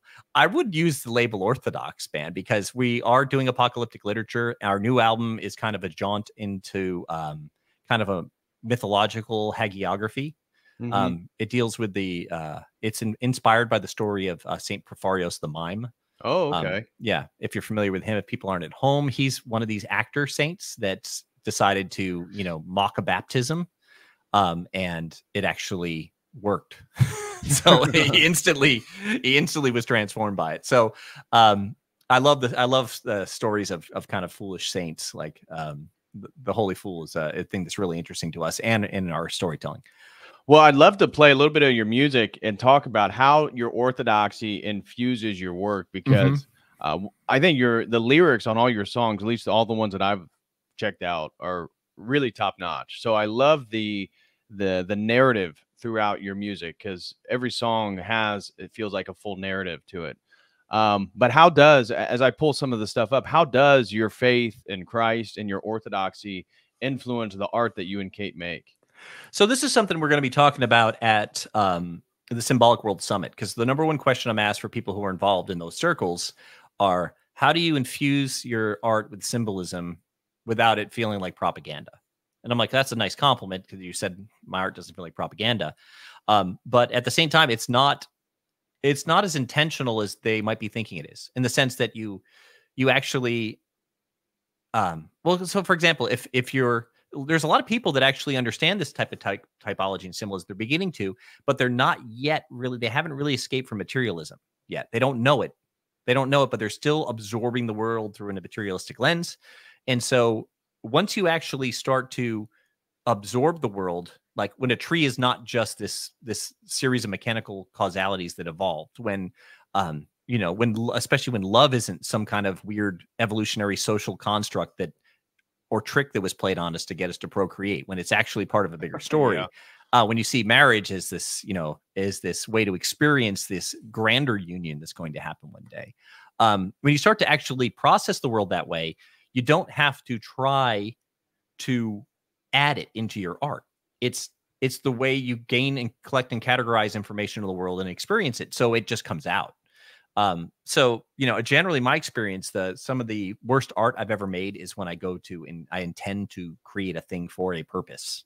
But when i just get inspired um it seems to work uh and it seems to be coherent too and i think that's because of of integrating it in actually integrating this kind of information in your life it's not just something you keep at church it's not just something Right. um you know you it's you you have a this nice organized mental picture that you never embody and live in so by embodying and living it i think that it's you don't have to try to incorporate it Yeah. okay I- so what are we gonna listen to I- oh we're on my instagram the ones that the two that I like uh, that really stood out to me in regards to Firebird. Maybe you can kind of prelude it by laying out what exactly this project is. Was Fever Dream and Political were certainly uh, my two favorites. yeah oh, oh very If there's anything in particular you'd like to to focus on, let me know. But I was No, no. I mean, I always love talking about the new project. I mean, our most popular song right now in general is from a previous project called Enchante, um, which Yes, is you know see- Mhm. so Let me pull that um. Enchante. Uh, so this one, I think lyrically. So what you know, what used to happen is we had this problem. Have you ever seen David S. Pumpkins from Saturday Night Live? It's like one of the few good things that's happened in the last twenty years on Saturday Night Live. But Uh-uh. he's this Halloween character, and nobody can figure out what the heck he is or how to describe him, or he can't even describe himself to other people. We've always had that problem. So, you know, so Jonathan Pageau just says we're like your, you know, he calls us everybody's favorite apocalyptic band. I'm like, that's probably better than anything. Um, so uh we don't know we don't know how to describe ourselves and so our most popular song was never like you could just show someone that song and they'd kind of get their head around us yeah. enchante turned out to be kind of that thing so it was nice Okay. because kate does most of the vocals in the band i do some uh, but this is a song she sings and it's some people described in the comments as like as like the best roast of materialism and its outcome um, but it, it really it's just a central point to our story. It takes this this story that this concept record this comes from it's taking place in the 1920s and people as the spirited view of the world is leaving as uh, you know the veneration of the saints and uh, the worship of embodied worship of god is, is starting to drift away to the corners of the world people are trying to replace it with some kind of spirit and this is it deals with the prohibition as like that problem that arose like the act the fact that people had lost this concrete um uh, or something that we could say is a more concrete understanding of the spiritual. And it was being replaced by materialistic understanding of the spiritual where alcohol is a spirit. So it, it the story talks about kind of like this modern view coming in and robbing the world of its meaning. And so where do people turn when they're robbed of their meaning? So the the hook of the chorus is if we can't raise the dead we're going to raise hell instead. Um Mm. So that's the you know we can listen to a little of that if you Yeah, want. let's let's check this one out. And Okay. then uh, I definitely want to get to uh, political and fever dream. I oh for Dude, sure your the, your your guitar is uh top notch and fever dream, man. Tho- that that's totally my vibe there. Thanks, man. I appreciate it. Well, everything you're about to hear, except for the female vocals, is me. I played everything. Excellent, dude. You're a hell this of a stuff, musician. All right, let's Thanks, check this out.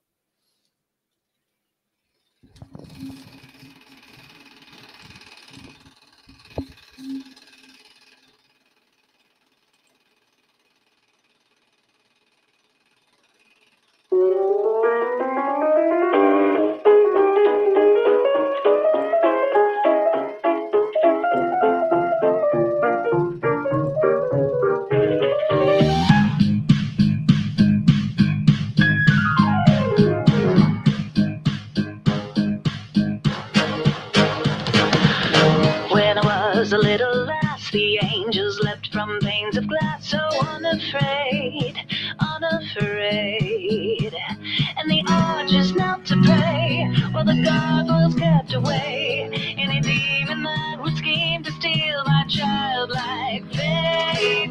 We huddled up, we held on tight, for grounded men were jealous of the angels' flight, angels' flight. They were butterflies to them, so they brought their boards to pen the wings and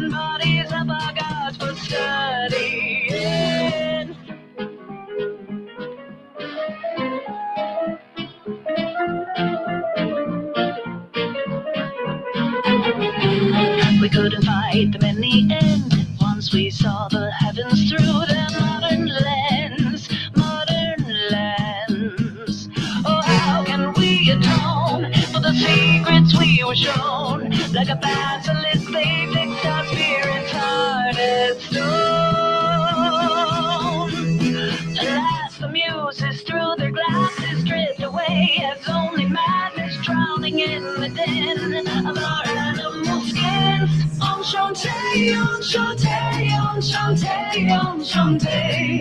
Every myth to crack its lips has nothing more to say.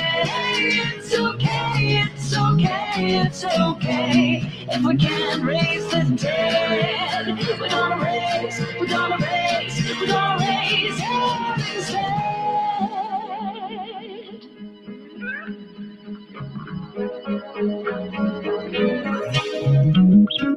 From chagrin, I've been released to paint me in a portrait sans the fig leaves, fig leaves. And I will not be concerned or ignore the things I yearn. My hunger is the rule I cannot overturn. Alas, the virtues through their glasses hid themselves from our madness. All we have within is skin. Enchante, enchante, enchante, enchante. Creature beasts and let them streak into the fray. It's okay, it's okay, it's okay. If we can't raise the dead, we're gonna raise, we're gonna raise, we're gonna raise hell I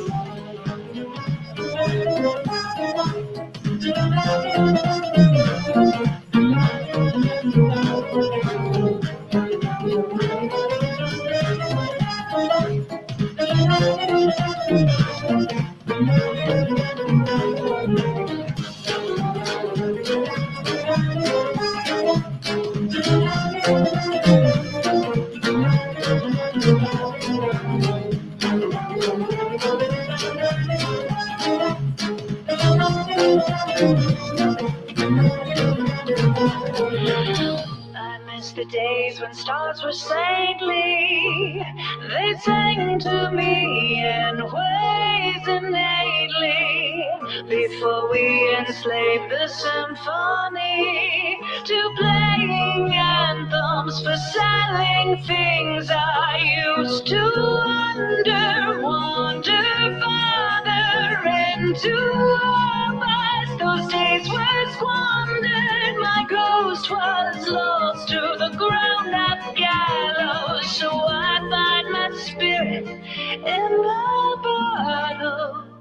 But oh, that bottle, oh, that bottle, oh, that bottle, oh, that bottle. Enchante, enchante, enchante, enchante. Name the powers, meteors, and let us go insane. It's okay, it's okay, it's okay. If we can't raise the dead, we're gonna raise, we're gonna raise,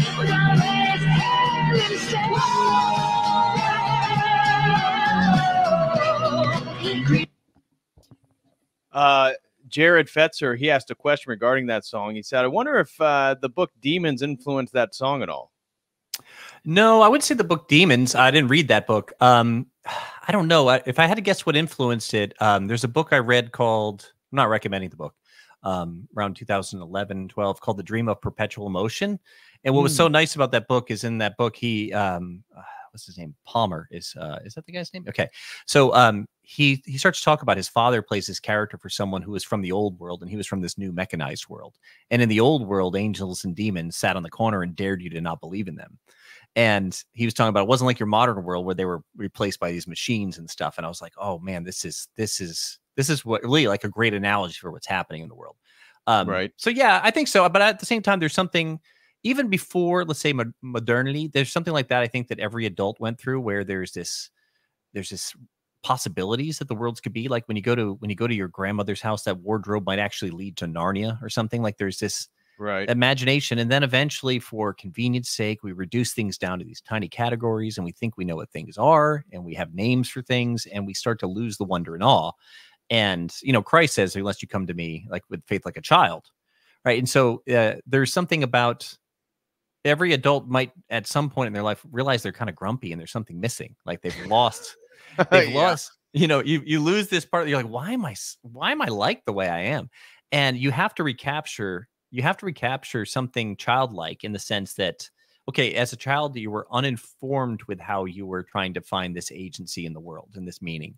Um but just because you were naive doesn't mean you weren't looking for something real and so the there's a recapturing that i've had my own life and i've seen other people have it in their own life uh and I, I see this like sometimes I'll, I'll meet like an old bishop and they're just so old and their eyes are so bright and there's something there's an enthusiasm of like a kid in i- the spry uh, in eternal spryness to these people and it's like that's it man. They, they've they've figured it out in the sense that they haven't figured everything out that there are still categories that are ineffable there's there's so much left to explore in the world there's so much left to know and uh, there's all this reason to have this wonder and awe and it's just it's not out there especially like growing up in the 90s and stuff like that the 90s were so flat like we didn't have lord of the rings and harry potter or anything even close to like these kind of proper world buildings we didn't have like the indiana jones of the 80s like raiders of the lost ark is a wonderful analogy for the battle of materialism and, and spiritual narratives um, Mhm. we didn't have that it was like it was just dying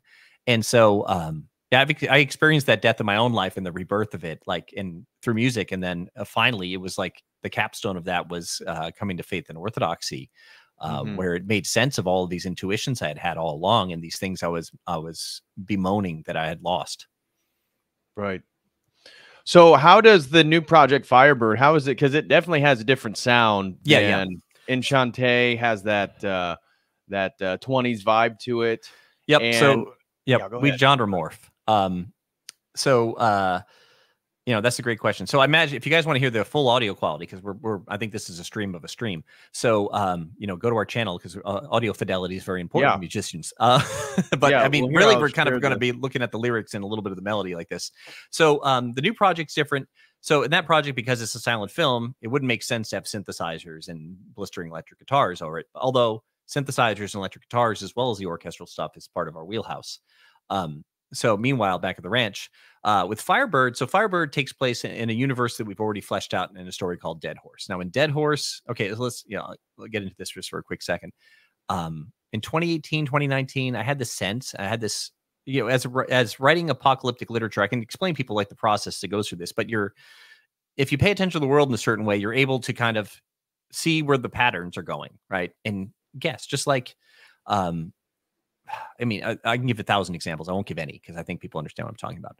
Um, anyway, I started to become concerned about this this love of safety and this love of people's own skin and indulgences. And so, in Dead Horse, I started to come up with a story that was about a world. I, I saw, uh, for me, I saw the best way as as this kind of globalist totalitarian force to gain control was through pandemics. And so, in Mhm. 2019, this was a very fortunate discovery of mine uh, because in 2020 um, by March 2020, the soundtrack for the what was going on already existed um, in our stuff. So, in if you go into Dead Horse, there's a couple songs like "It Tore Your Heart Out" and "But Never a Key," and pretty much all of it. But it, it's it's outlining the problem that was coming up. So, in the story of Dead Horse, people become separated they become lost in their own idiosyncrasies they they lose real human connection they're disconnected from meaning and so the way they try to solve this problem in the world is through an embodied version of ai called the saints and the saints is like an acronym like you know how the people love uh co-opting and stealing um you know these deeper categories or even Right, even right. for car names it's like you know you get a car and it's uh it's like this car is a Phoen- pontiac phoenix. It's like is it really like like you just stole a great story of the phoenix and you used it to sell a car.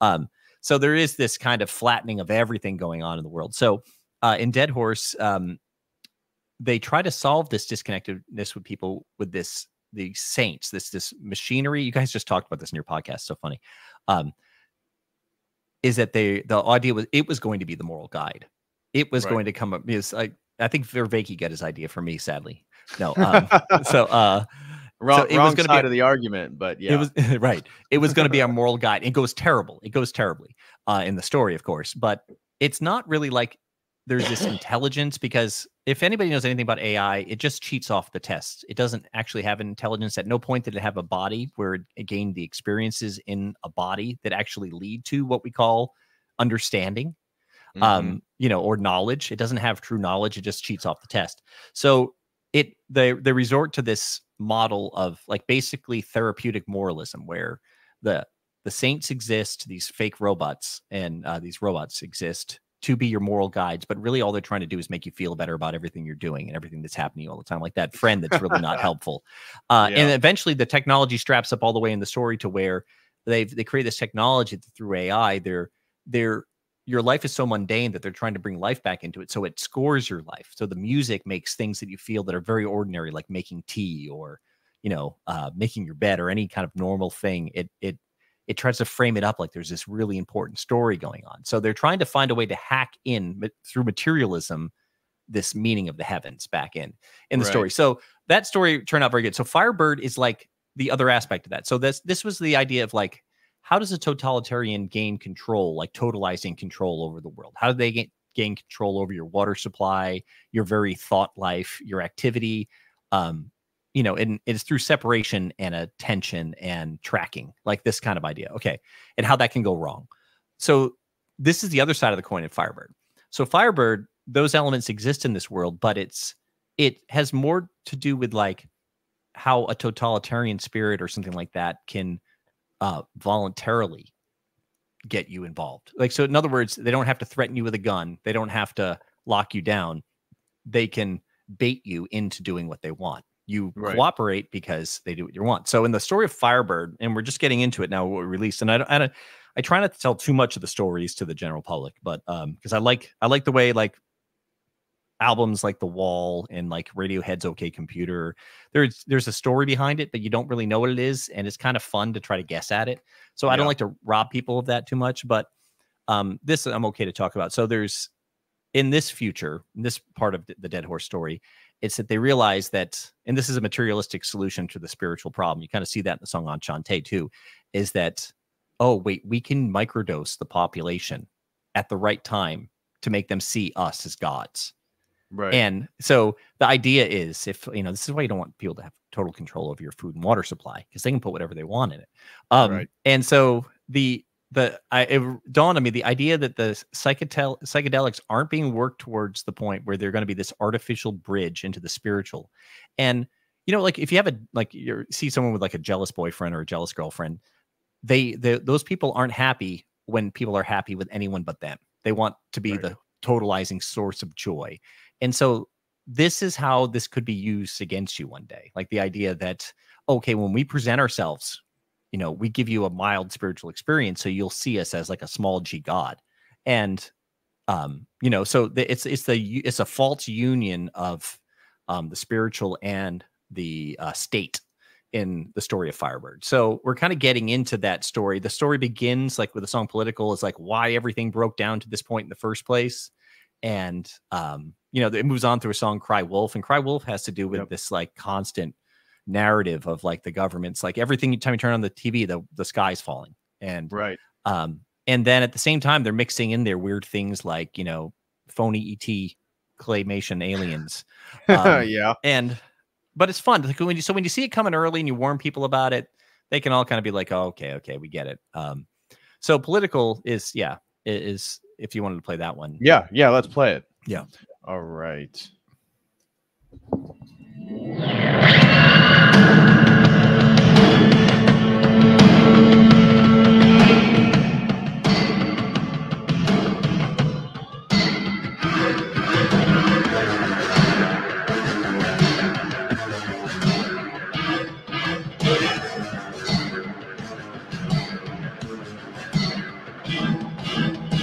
Keep it down and shut your mouth.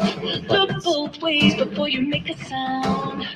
Common sense is too expensive, gotta air it out underground. Yeah, maybe shouldn't. Oh, keep pussyfooting around, don't elude its subterfuge. You want the message approved, it must include one love, one state, one vow, one fate.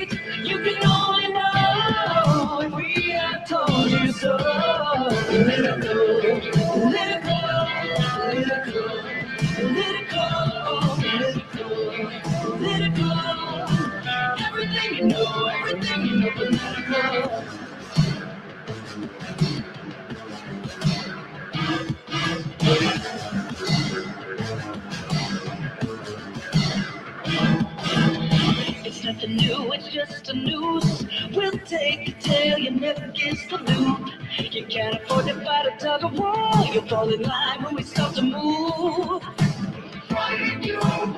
There's no evading. Ooh, you love a band. It's not for us, it's all for you. Enjoy yourself with the view, looking straight into one love, one state, one vow, one fate. You can only know told you so. Let it go, let it go, let it go, let it go, let it go, let it go. Everything you know, everything you know, let it go. Outdated specters from the past, fodder for jesters, coercing But no one's laughing, they're just bitterly clapping. So we say it again and bask in the devil's amen.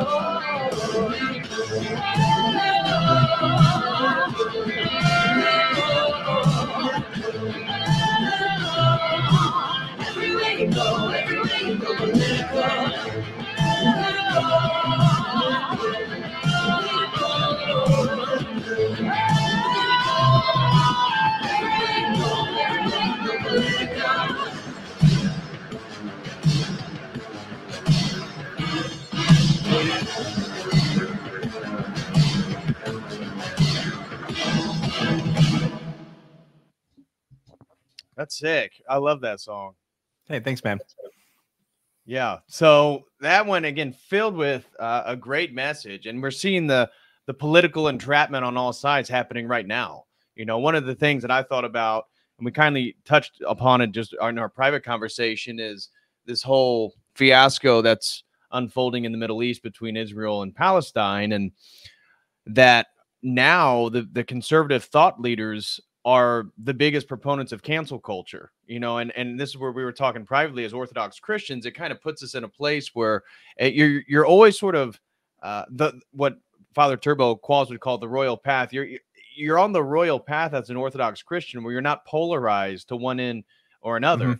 Now typically we would be associated with more right-wing conservative politics and stuff like that based on the church and our values but with what's happening in in palestine now we see ironic right the the far left the the most radical progressive people are in favor of palestine and this is being painted painted as though then they're in favor of hamas which then means then they're in favor of radical islamic terrorism and and therefore they're all just terrorists and as an orthodox christian 10% of palestine are orthodox christians uh, Mhm. and they just blew up the third oldest church in christendom uh, just well, last week Mhm. so you, you as an Orthodox Christian are sitting here, and it's so interesting to see those who are so politically uh, distant from us are now adjacent to us with this with this Palestine thing, and at the same time, the politicians that are deemed like Christian nationalists or right wing Christians, they're now wanting you to not be able to get a job, not be able to go to university, not be able to go to law school if you then support Palestine.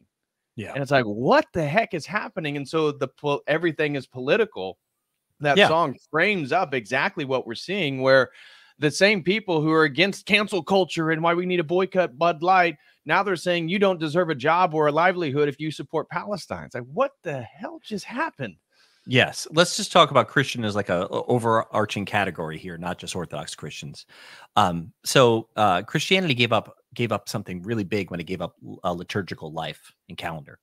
Is that well, which you don't realize, what I didn't realize before I was Orthodox, like not growing up Orthodox, um, that our calendar is a couple of like secularized versions of holidays and sporting events and political holidays, and so your rhythms of your life are are really pushed moved around consumerism and uh, things you acquire. Even like oh i get my tax return now. Like you have a weird liturgy to your life. And by the orthodox church was one of the ways i started to gain um to gain an escape velocity from this politicized way of thinking where like you really think about well if they don't you know if you're not voting for my guy you're voting against him uh, Right. or everything came down to like dude over and over again people message me mostly left from the left but you know also from the right they're like they want to know if i line up with all their stuff and i said listen i don't line up with your I don't know who you are there's no chance we line up like it's not about that like the idea that like this false idea that people can't care about each other unless they line up politically is so immature. It's so juvenile. I can't even like begin to have a discussion within that world because it's like that's not i see you as a person. Like you may have things i think you're deceived about. I have things i'm doing wrong. Um you know the problem is is that somebody knows better. And you know as a christian you're when you're talking to someone who's outside of your tradition you're talking from the point of view that you know better. But we're not talking about something we invented either. So but the, anyway the back to the liturgical calendar like suddenly like like going through this like the the stories and the structure of the bible is the way it's been built around easter or pascha you know as we call it um through the nativity season and all the different seasons and all the different things you're venerating. Now instead of paying attention to the state and what's happening politically or what's happening in entertainment or you know is it grammy season? Is it super bowl season? Like it's like Right. I'm, I'm i'm focused on like you're you're actually free. And then also too for the orthodox christians i think they have an advantage when it comes to looking at events like this in politics because um, we don't have hope that the government is going to redeem us the, right. These we're not going to vote our way to freedom. yeah, you're not going to suddenly like, oh my gosh, like my reason for being is finally okay because we're not materialists. We don't think this life is all we have, right? And we Right. think that actually our struggles and some of the challenges presented to us, whether we're having a good day or bad day, there's purpose in it, and it's meant it's meant for my salvation. Um, so there's a very different way of looking at the world as opposed to people who are like, this life is all you have, and if you don't get enough stuff now, that was your one chance to get stuff, or that was your one chance to have peace, and and so, you know, we see this as like, you know, life is like the the pinprick that delivers the medicine that saves you forever. It's like life is it's these are momentary suffering and um and that actually a lot of a lot of what's happening that we don't like to us is probably better for us than the things we like that are happening to us. So Right. it's a very different perspective. So um, you're not waiting for like some guy to get elected, and now I can oh finally I can have a life. Like I get really I got really frustrated during 2020 when my kids' school was shut down and like my my young kids who need socialization can't get it. Right, I moved. I literally moved to Florida. I was like a political refugee, um, because they From was where? open. Were It was you, open. were you were in Louisville. Or- No, it was so weird. Oh, we were in Louisville. Louisville. Yeah. we were in Louisville, and uh, it just got locked down so hard, and everything was masks, and and it, it was just there was little hotlines so you could rat out your neighbors if you saw them doing something. Oh my gosh. And like, yeah, so it was it was stupid.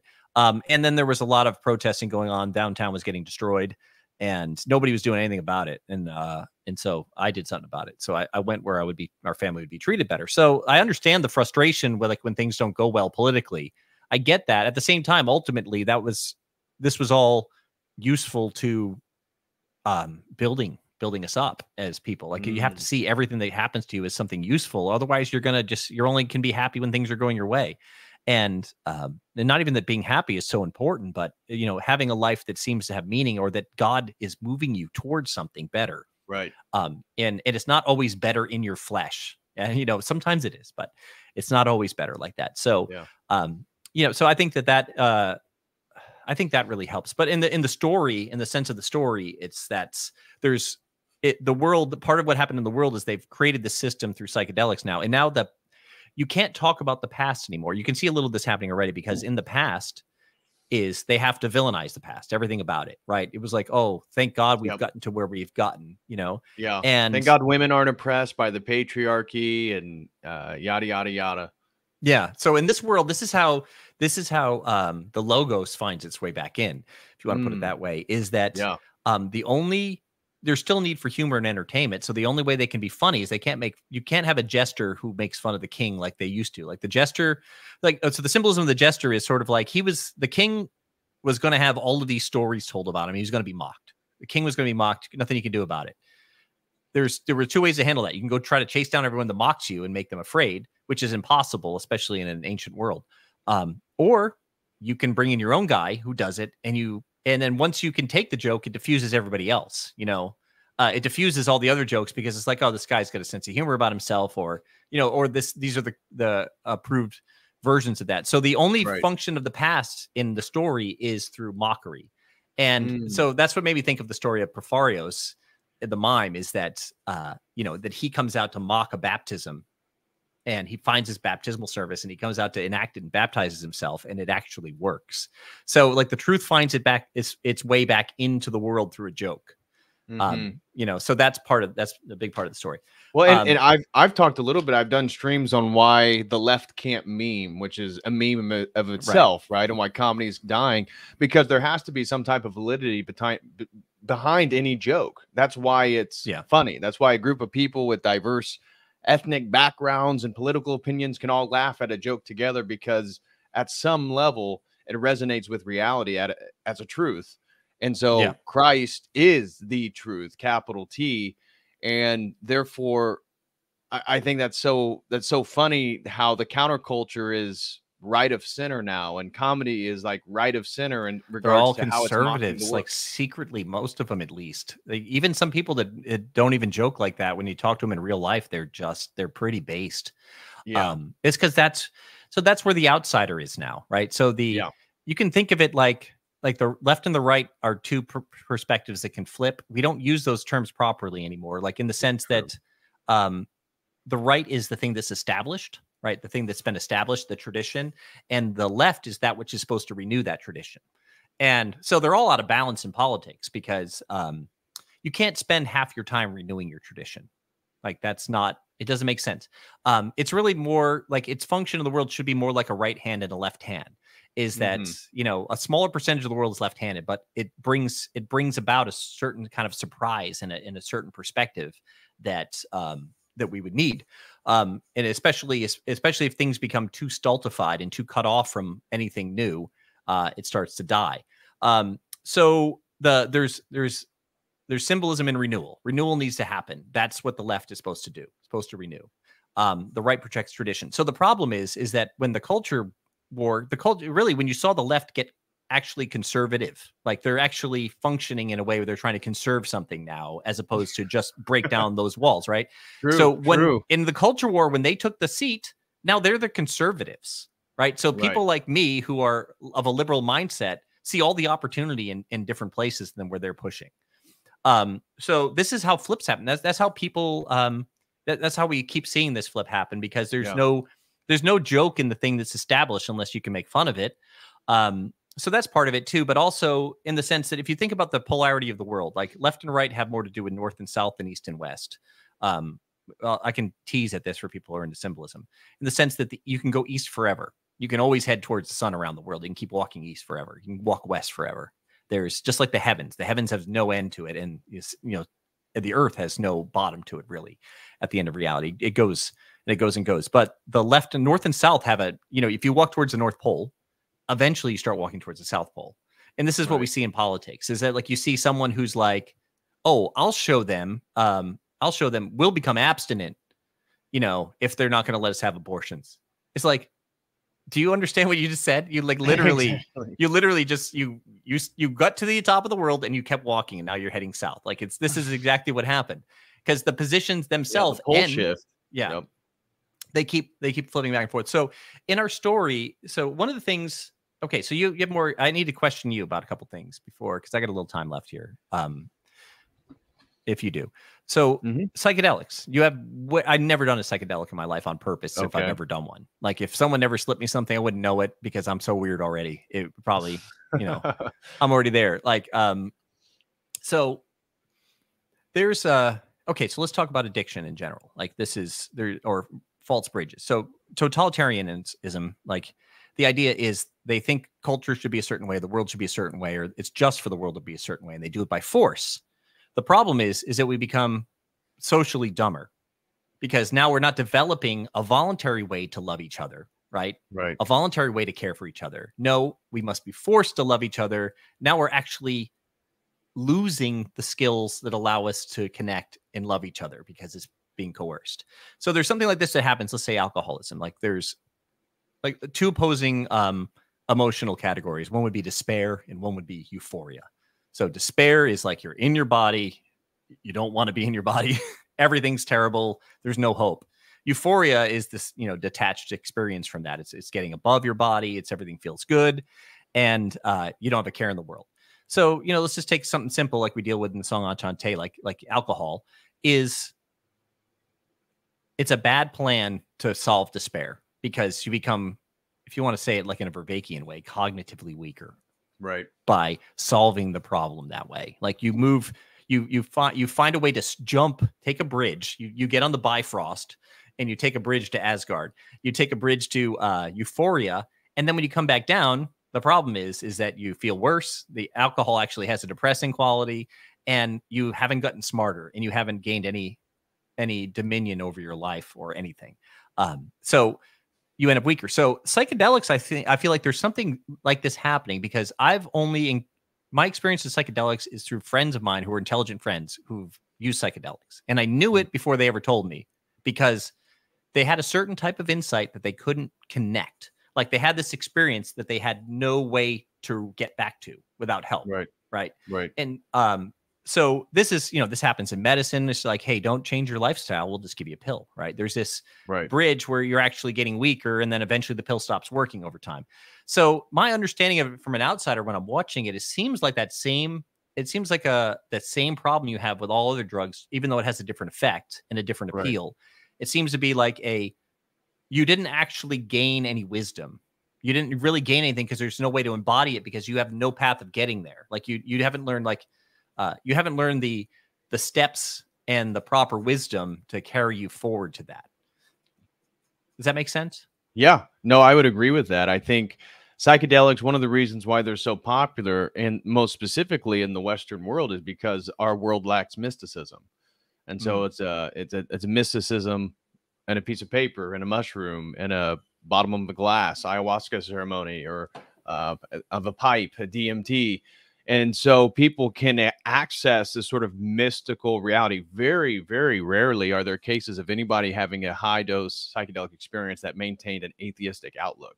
Hmm. So therefore, it opens up the possibility that hmm, maybe there is like a spiritual reality that's adjacent to us and present with us right now as we speak. And I think it, it does that. It kind of shakes people open.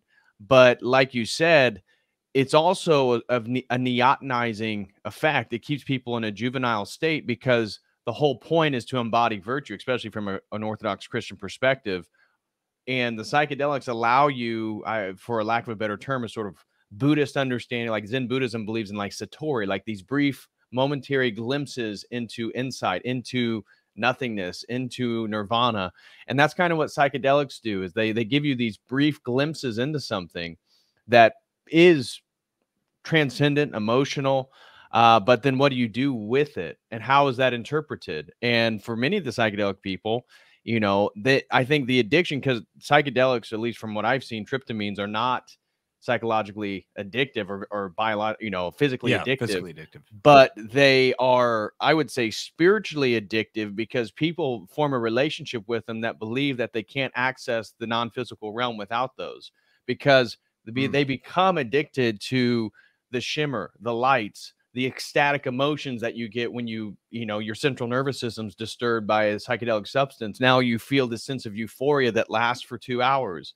And so now they believe in a way going back to what you're talking about with the protestants in regards to these ecstatic states of emotionalism is necessary for uh, worship. Therefore uh-oh i'm at the colts game and i'm worshiping harder here Right. than i am at my hillsong church Yeah. um psychedelics kind of place people in that same camp now they're not christian oriented but this idea that worship spiritual insight is some ecstatic bodily experience I think again neotenizes them. It, it keeps them in a Mm. juvenile state, and they don't really go seeking because the more difficult path. Some people believe that sort psychedelics are like a shortcut. I don't, you know, maybe for some people, uh, but the shortcut is so short lived. So it, it, it Right. doesn't. It like you said, once they come down, maybe they saw something insightful that that is objectively true.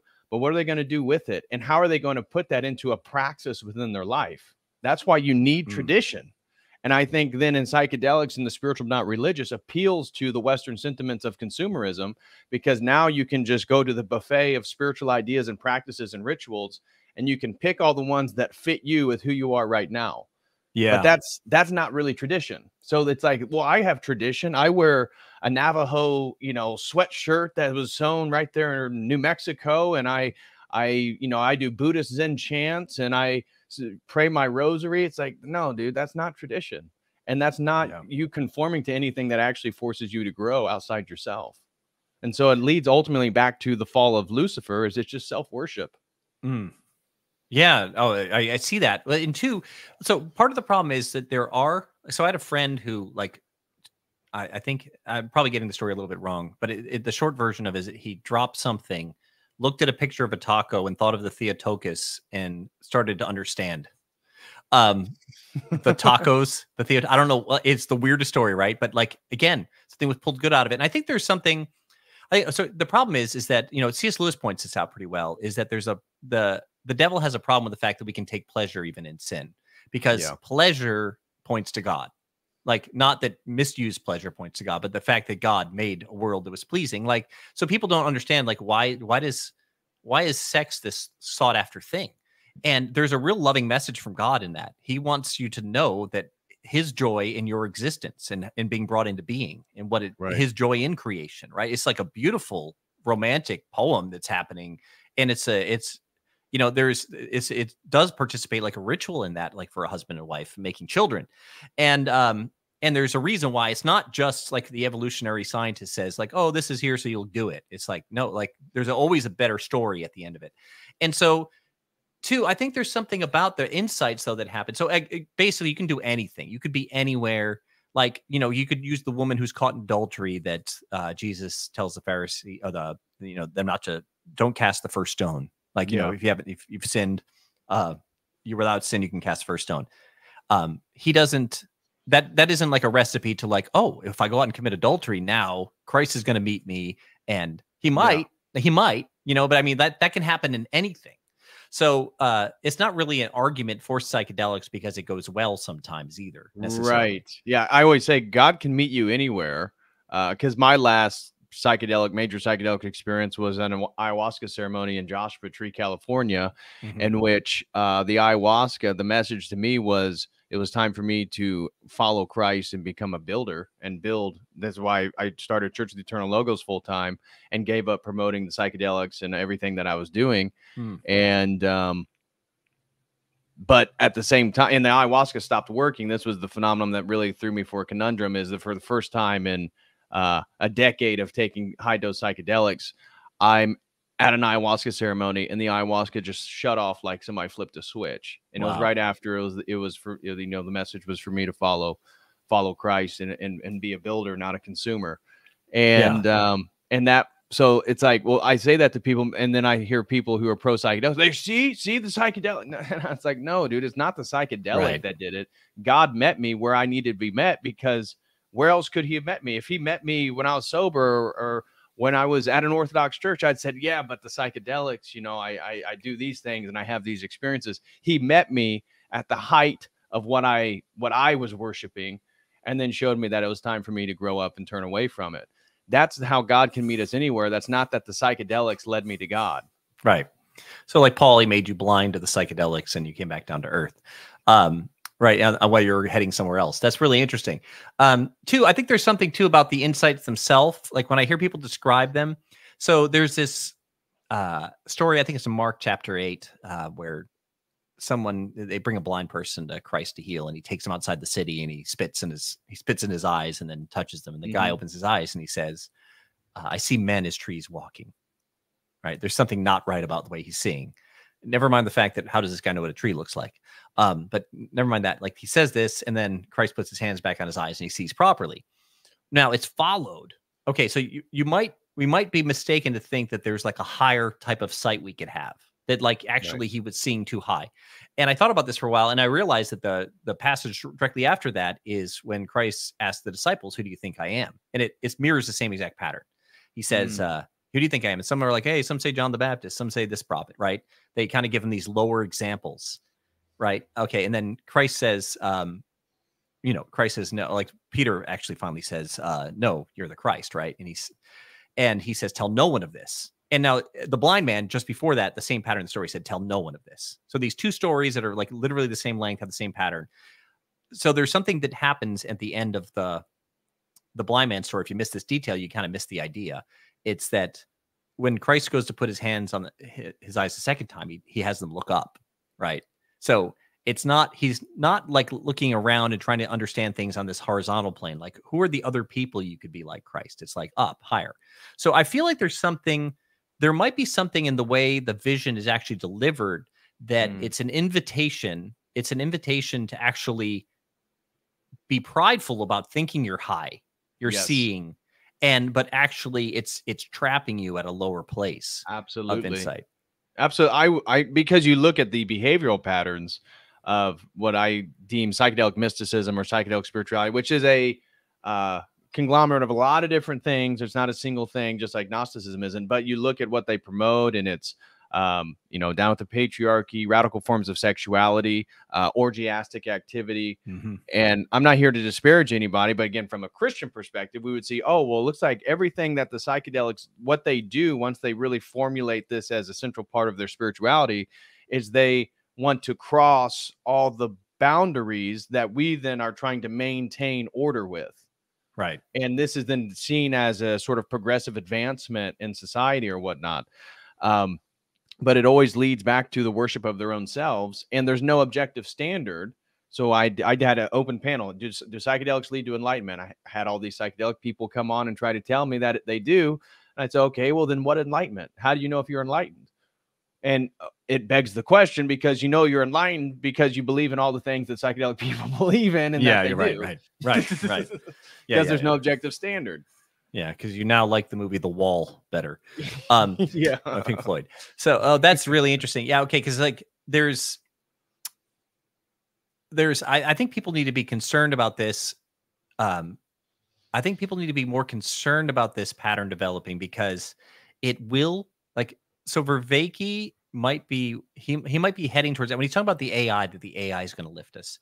It's there's this flat materialistic perspective where they have kind of a pseudo verticality to their thinking.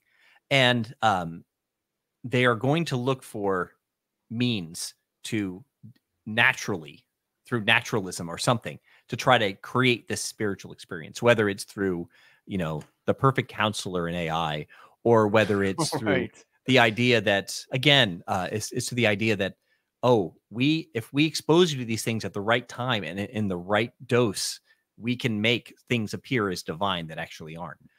Um, you know, so I think there's something of like of like the pattern of the Antichrist in this, in the sense that there's um, you know, there's like two things that happen in the same time in that story. It's like this weird pattern you see in the Bible, like where you see like Leviathan and Behemoth. Like one's like the chaotic potentiality of the of sea, like this irresistible force, and then the land, which is like this immovable object, Behemoth, like Right. the totalizing force that just clamps down and doesn't let you move and makes a wall you can't get through, and then this other force that's you know that breaks you down into multiplicity and chaos, and you see that in Revelation, like those two patterns brought out through like one's like the pattern of the beast, which is this totalizing, like weaponized masculinity, and then this weaponized femininity, which is you know beauty. Like you see this all everywhere. God bless, God bless the world. You talk about guys needing help. Of course, girls need help Yep. because they're being Both. so they're being encouraged that like oh here's your beauty is there to farm attention for yourself Right. and to and right because you, it works it works they get attention and, and people think they need attention of course that that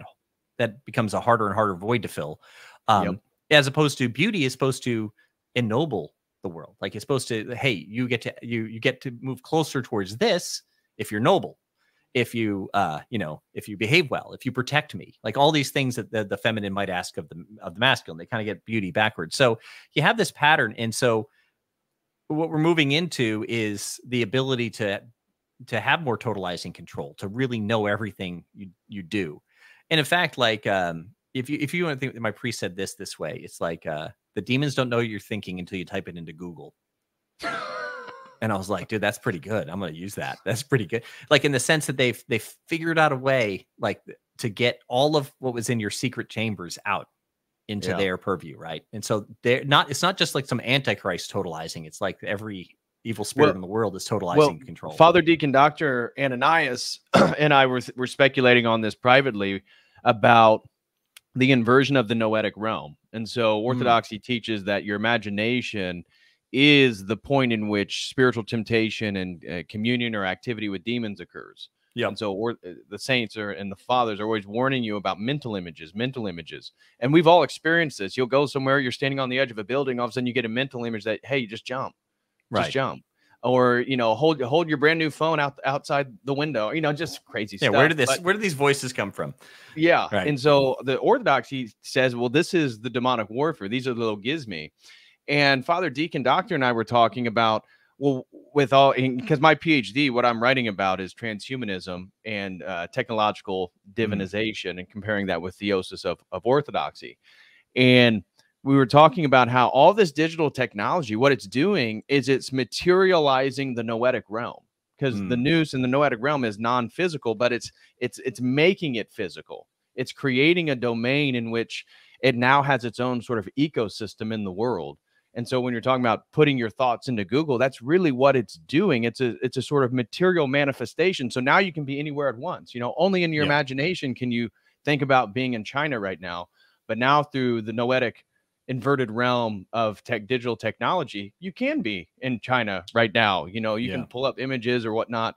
And so thinking about how and I I speculate, and I've laid this out for various priests uh, within the Orthodox world um, privately, and, and many have been somewhat supportive. Some have sort of questioned it, but I wonder about this whole sentient AI. I do not believe an AI can become sentient because it it violates my understanding of anthropology. I don't yeah. believe uh, inter- highly interconnectedness equals being sentient. But what I do think as an Orthodox Christian is that the Antichrist and all this digital technology is a sort of inversion of the satanic incarnation. And so Satan can't take on a human body. He can't have uh, an incarnation like Christ, but he can inhabit the technology, the inverted nous, the in- inverted noetic realm, which he Yeah. already is in. Right. That's the realm that we both share with the demons is the noetic realm. Wow, that's you're man, you're blowing my mind. That's so spot on. I think. I think. Uh, I think what you said was super insightful. Um, I think if people can understand that, it's very help. It could be very helpful to them in engaging these things too, uh, because the imagination is also the, means by which the devil uses to get us to give things the wrong name. Like if you go all the way back to Eden, um, part of like my friend Richard Rohlin, uh, ta- Rohlin talks about this, uh, the sacramental imagination, which is inverting the imagination to remember the things that are actually connect the heavens and the earth. um, Mm. as opposed to because that's what we're trying. That's what I feel like we're we're recovering from is that uh, you know. Uh, we, I don't have. I really don't have time to get into uh, the song "Fever Dream," but I kind of deal with this in "Fever Dream," whereas I use Cain as the example. Like Cain, not only can he not name the animals, he can't find an animal um, because he doesn't. He's he's disconnected so far from God that he can't get even food from the ground. Right? There's this. He's lost in. Um, he's lost in this, and you can see this happening in our culture where we've gotten so far from the real names of things, and technology is part of the wedge that puts us away from that. Like it's it's through the existence of birth control that we're now for the first time ever able to stop thinking of sex as something that's both pleasuring and um and procreative right, so once the procreation is dis- uh, separated from that now you can name it anything the problem i would i would leave people with is this is that because we can technologically solve some of the material problems that go along with these things um, it only amplifies the spiritual problem. Um you know uh so the the so for example we don't like like i said before like the guy who doesn't go out and act on his sin because he's a leader in a church and he loses clout or he loses his reputation or the idea that i could give you money to stop doing something you're you'd want to stop doing and you haven't been able to figure out how to stop doing it before is that the material world does have a sense of at the very bottom of reality for the lowest reasons of if we pay attention to reality it's actually pinning us in if we can just pay attention to the cause and effect at that level, you might actually come up with an emergent morality Right. that's closer to the the re- revealed morality. Yeah. Um, but when technology removes that, right, removes these consequences from us, um, it becomes harder and harder to ima- reimagine the proper names for things. And which Yeah. is why I think I think that Pageau gets this right when he says, um, "Go to church." They'd be like, like his, like when he said, "What you like? What do you do about this? How do I do this? What do I?" He's like, "Go to church." Go to it's like church. that's that's it like that you go Right. to church and um and you, you when he's saying that from an orthodox perspective because i've gone to churches that it's the same problem in there as it is everywhere else in orthodoxies where you actually get to reconnect your own heavens and earth internally your own body and your spirit um right. so that's been that's been the the gift and contrary to like what everybody who follows me who gets worried about that like it, it's like it's who- people who are worried like let's say on the left they're worried about compassion and acceptance um i i will i don't care what you are or what you call yourself what you identify with you can come to church with me tomorrow i will Yeah. proudly stand next to you and Yep. i will not judge you because i got problems i have besetting problems with me i've been working on and you do too but like the problem Yep. is you're dealing with the same thing is that without without going to church you're going to be trying to reinvent something that there's you're you don't have enough access to the good already to reinvent on Right. your own um Yep. so i mean that's what i have to say i have so much more i want to Yeah. talk to you about but Well, i actually have to I- go in a second Okay. Uh, well, I just want to make one comment right there, and if you do have a Yeah. minute, we can finish up. I know we have a few questions and some super chats. okay you got um that um yeah when you're talking about the names of things it makes me think again of of what exactly magic is about and it has to do with the manipulation the power of words. God created the universe by speaking it into existence and and that's what ritualistic magic is about. That's what uh, the, the seal of solomon is about is the names of the 72 demons so that you can command them to act once you have the name. And so when we look Mm. at the the contemporary world it you know the I, I'm not a huge fan, but Alfred Korzybski, he's the father of general semantics, a linguistic scholar, and he re, he coined the term "the map is not the territory," meaning the the symbols that we use, the language that we use, is not the territory of the actual. You know, the word desk is not the actual desk. However, the map, I would say, as Orthodox Christians, we would say the map is the territory because words do have a direct uh, relation and correlation to the world that is and what they're doing is i would argue that it actually is a magical process. It's it's that what we're in right now is they're redefining words and maps. Social justice well Mhm. what's wrong with justice? Well we need social justice and then it creates a new definition which is really about injustice against uh, certain groups of people. And so this is a magical process about manipulating the linguistic map we we utilize so that people at an unconscious level are already working then inside that territory which is a Mm. different territory than the world that actually exists Yeah. and that's why they can't recognize god because they they really do live in a fantasy land a fantasy land that's constructed by language and ideas Yeah, no, I mean, and there's it's it's a long road out. It's a long road out. Uh, you know, if you have I, I pray for people that are in this because like they're they're really sometimes there's you you meet up with people there's no path for you to to to help them. You see their struggle you see they're lost uh and they're they're defending the thing that's actually destroying them and it's like okay well what can i do? It's like well thank god prayer works right you know? Uh, exactly. thank god you know someone out there on the outside is like whatever thanks for thoughts and prayers it didn't help me at all. It's like no you have no idea.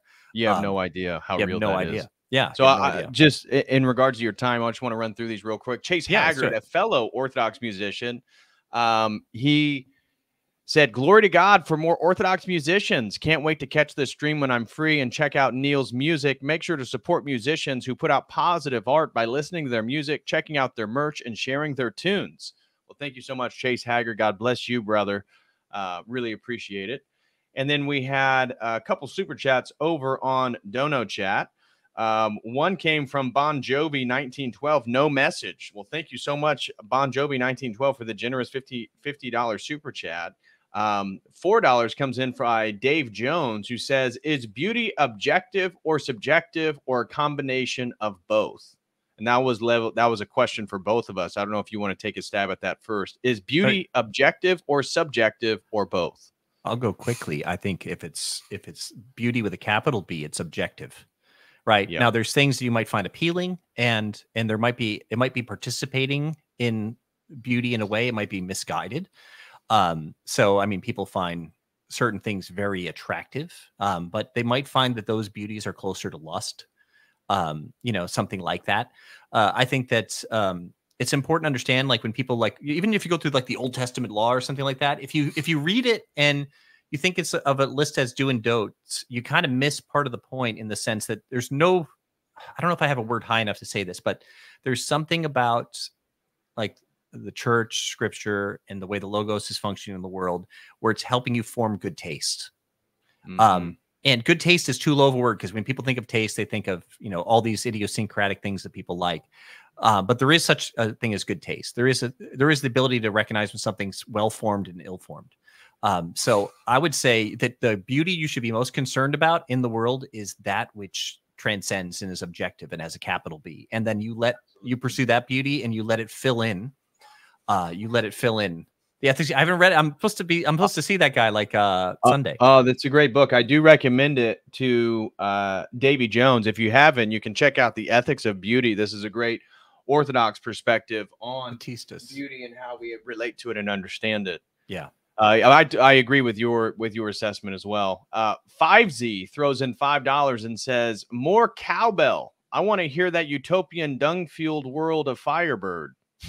All right, that guy's name is Dougie, um, and he's insane. He's a, he's a he- he's chaotic. Uh, he's a he's a chaotic good uh, fool who follows us. I love him. Um, hey, well, his channel's pretty wild. If you go, you want to see some, you want to see some stuff, it, go to his channel, Five Z. All right, I'll check Um, it out. Thank you, yeah. 5Z, for the support, and you're more than welcome here, brother. Uh, Jared Fetzer, also an Orthodox musician, says, "Do you think music is the best put in an apocalyptic apocalyptic narrative form?" This is what I've been concluding. I find that a song, when written, should mean everything it can, and the only limit should be the amount of words and musical composition.